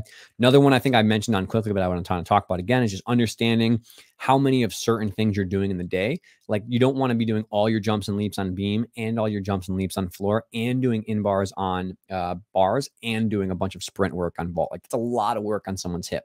So maybe on balance beam, if you do all your jumps and leaps, maybe you can just focusing on tumbling one day or turns one day, right? If you do a lot of turns and jumps and leaps on floor, maybe you can do it on beam, but just be really careful about how many stalders and in bars you do or kips you do on bars. Work on other things like long hang swings, drills, uh, spotted work, metal bar, all that kind of stuff. So just be aware of, you know, all that kind of stuff. And then uh, two more things I'll say. One, cultural issues, early specialization, year-round training, maybe age guidelines for who's doing harder skills at a young age. That's a ball of wax. I know that's a really big Pandora's box question, but um, that needs to definitely be a conversation, right? Like so many injuries are still higher risk because of only doing gymnastics from five years old, not having a break in your year on training, and having zero guidance about like how many hours a young kid should do. Uh, I think it's crazy that we have like, you know, 10 year old kids trying to go level 10 and do elite and training 25 to 30 hours per week. Like that's madness to me. And if you, if you do that, maybe you can get away with doing it in a very specifically planned way, but it's going to be really tough to get a 10 year old to do 25 to 30 hours per week for 10, 12 years and not have hip issues. So um, I really think we need better guidance around that from coaches. So uh, then lastly, I'll just say is uh, excellent technique excellent basics, right? Take the time, teach proper roundoffs, teach proper cartwheels, proper handstands, proper glides, proper kips, proper running. Um, if you if you skip steps um, and you and you don't allow those things to really develop fully, um, that's going to be really challenging sometimes because someone's going to have to go back and refix their roundoff or refix their in bar or refix their tap swings. And I'll be honest that sometimes you teach all those things and you do it, and the gymnasts don't listen. You know, it's just it's just the reality, but they don't want to put in the work to to change. And you just gotta you say, okay, well, you know, I'm here for you if you want to learn and do that. But like, you know, you got to really fix these things if you want to not keep having naggy this or cranky that and all that kind of stuff. That technique is so, so important. All right. All right. We're at the end here. Last but not least, what do you do if someone is not getting better? And these are five things that I have dealt with head on. Okay. So, number one, if their hip injury is not getting better, they're always having problems. Number one, you got to look at the culture, right? Is there a problem with goal mismatch? Does the coach want one level where the parent wants another, or the kid wants another? Um, are, are there maybe just not having good conversations about just too much, which is we're pushing the young athletes too much too soon, the intensity is too high, or we're not using evidence based strength conditioning, we're not using evidence based, um, you know, flexibility methods?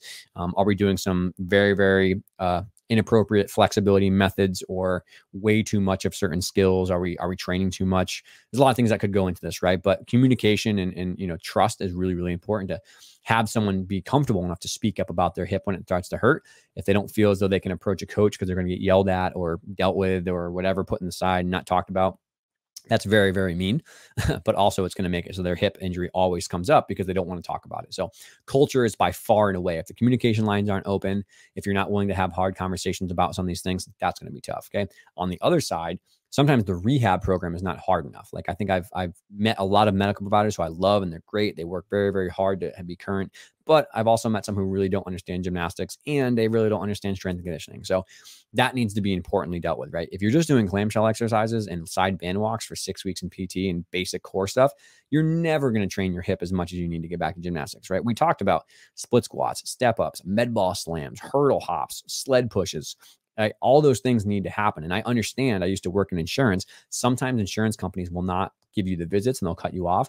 You still need to work on those things regardless, whether it's a strength coach, whether it's talking with the medical provider, getting a home program and doing it with a strength coach or in the gym.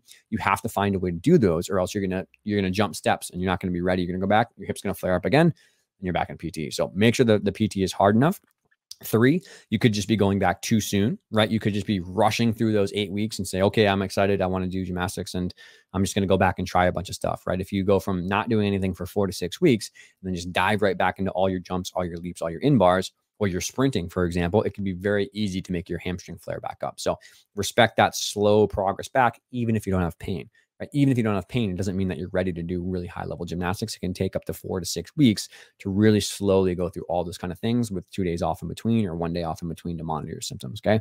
Four, skill technique, right? If you don't take time to really go back, relearn that aerial the right way, relearn that round off the right way. Find someone who can teach you a proper round off, relearn your in bar drops, you know, relearn some of your your uh, jamming skills and your hamstring stuff to not bottom out the bottom.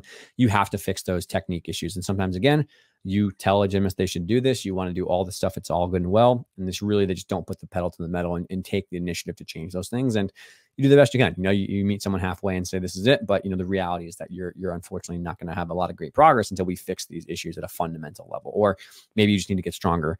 Maybe we just need to work on flexibility for a couple weeks, stuff like that. Okay. And then lastly, along with the lack of patience to return to sport, is the lack of patience with growth and development. So again, these are kids. These are children who are um, growing rapidly. And sometimes I look at people and I say, listen, you're doing everything right. You're doing the exercises, you're doing the strength, you're doing everything you possibly need but you're 10 years old, you're 12 years old, and you're growing very, very fast, and you're doing very, very high level gymnastics. And I get it, it's fun, but your body is just telling you that you need to just let yourself calm down and adapt, and you'll get through this growth spurt a little bit. So, as much as I love it and it breaks my heart to say it, I tell people like, listen, this is just going to be a time thing. You know, just keep doing your work, keep doing what you can, but your hamstring is just going to keep being cranky until you get through a growth phase. So, yeah, that's what it is. Um, all right. And as as I hope to do, I wanted to finish under two hours, and here we are. So I apologize for that monstrous episode. We'll timestamp everything. You can get all the information you need. I wanted to make sure people had everything they possibly needed um, to kind of get in here. And if you if you want to learn more, we have way more resources, medical providers. We have an entire course on every exercise I do, every treatment I do to help with all these injuries. Um, the slides that we showed were from that. If you want to just check out more and you want to just see more hip active flexibility drills or strength circuits, we have the Hero Lab, which is a monthly membership for coaches as well. You can hop in there too. So I hope you all found this helpful. If you got all the way through this, God bless you. You're amazing. Do us a massive favor and please share this with people. Share it with people you know. Uh, the, we give this away for free, right? So the more people that know about it, the better off it is, so that we can just spread awareness around it. So uh, I hope this was all helpful. Uh, if you guys want to see more, the blog has literally all of this in written form. So you can go back and you can visit this and uh, we should be good. All right. Have a great day.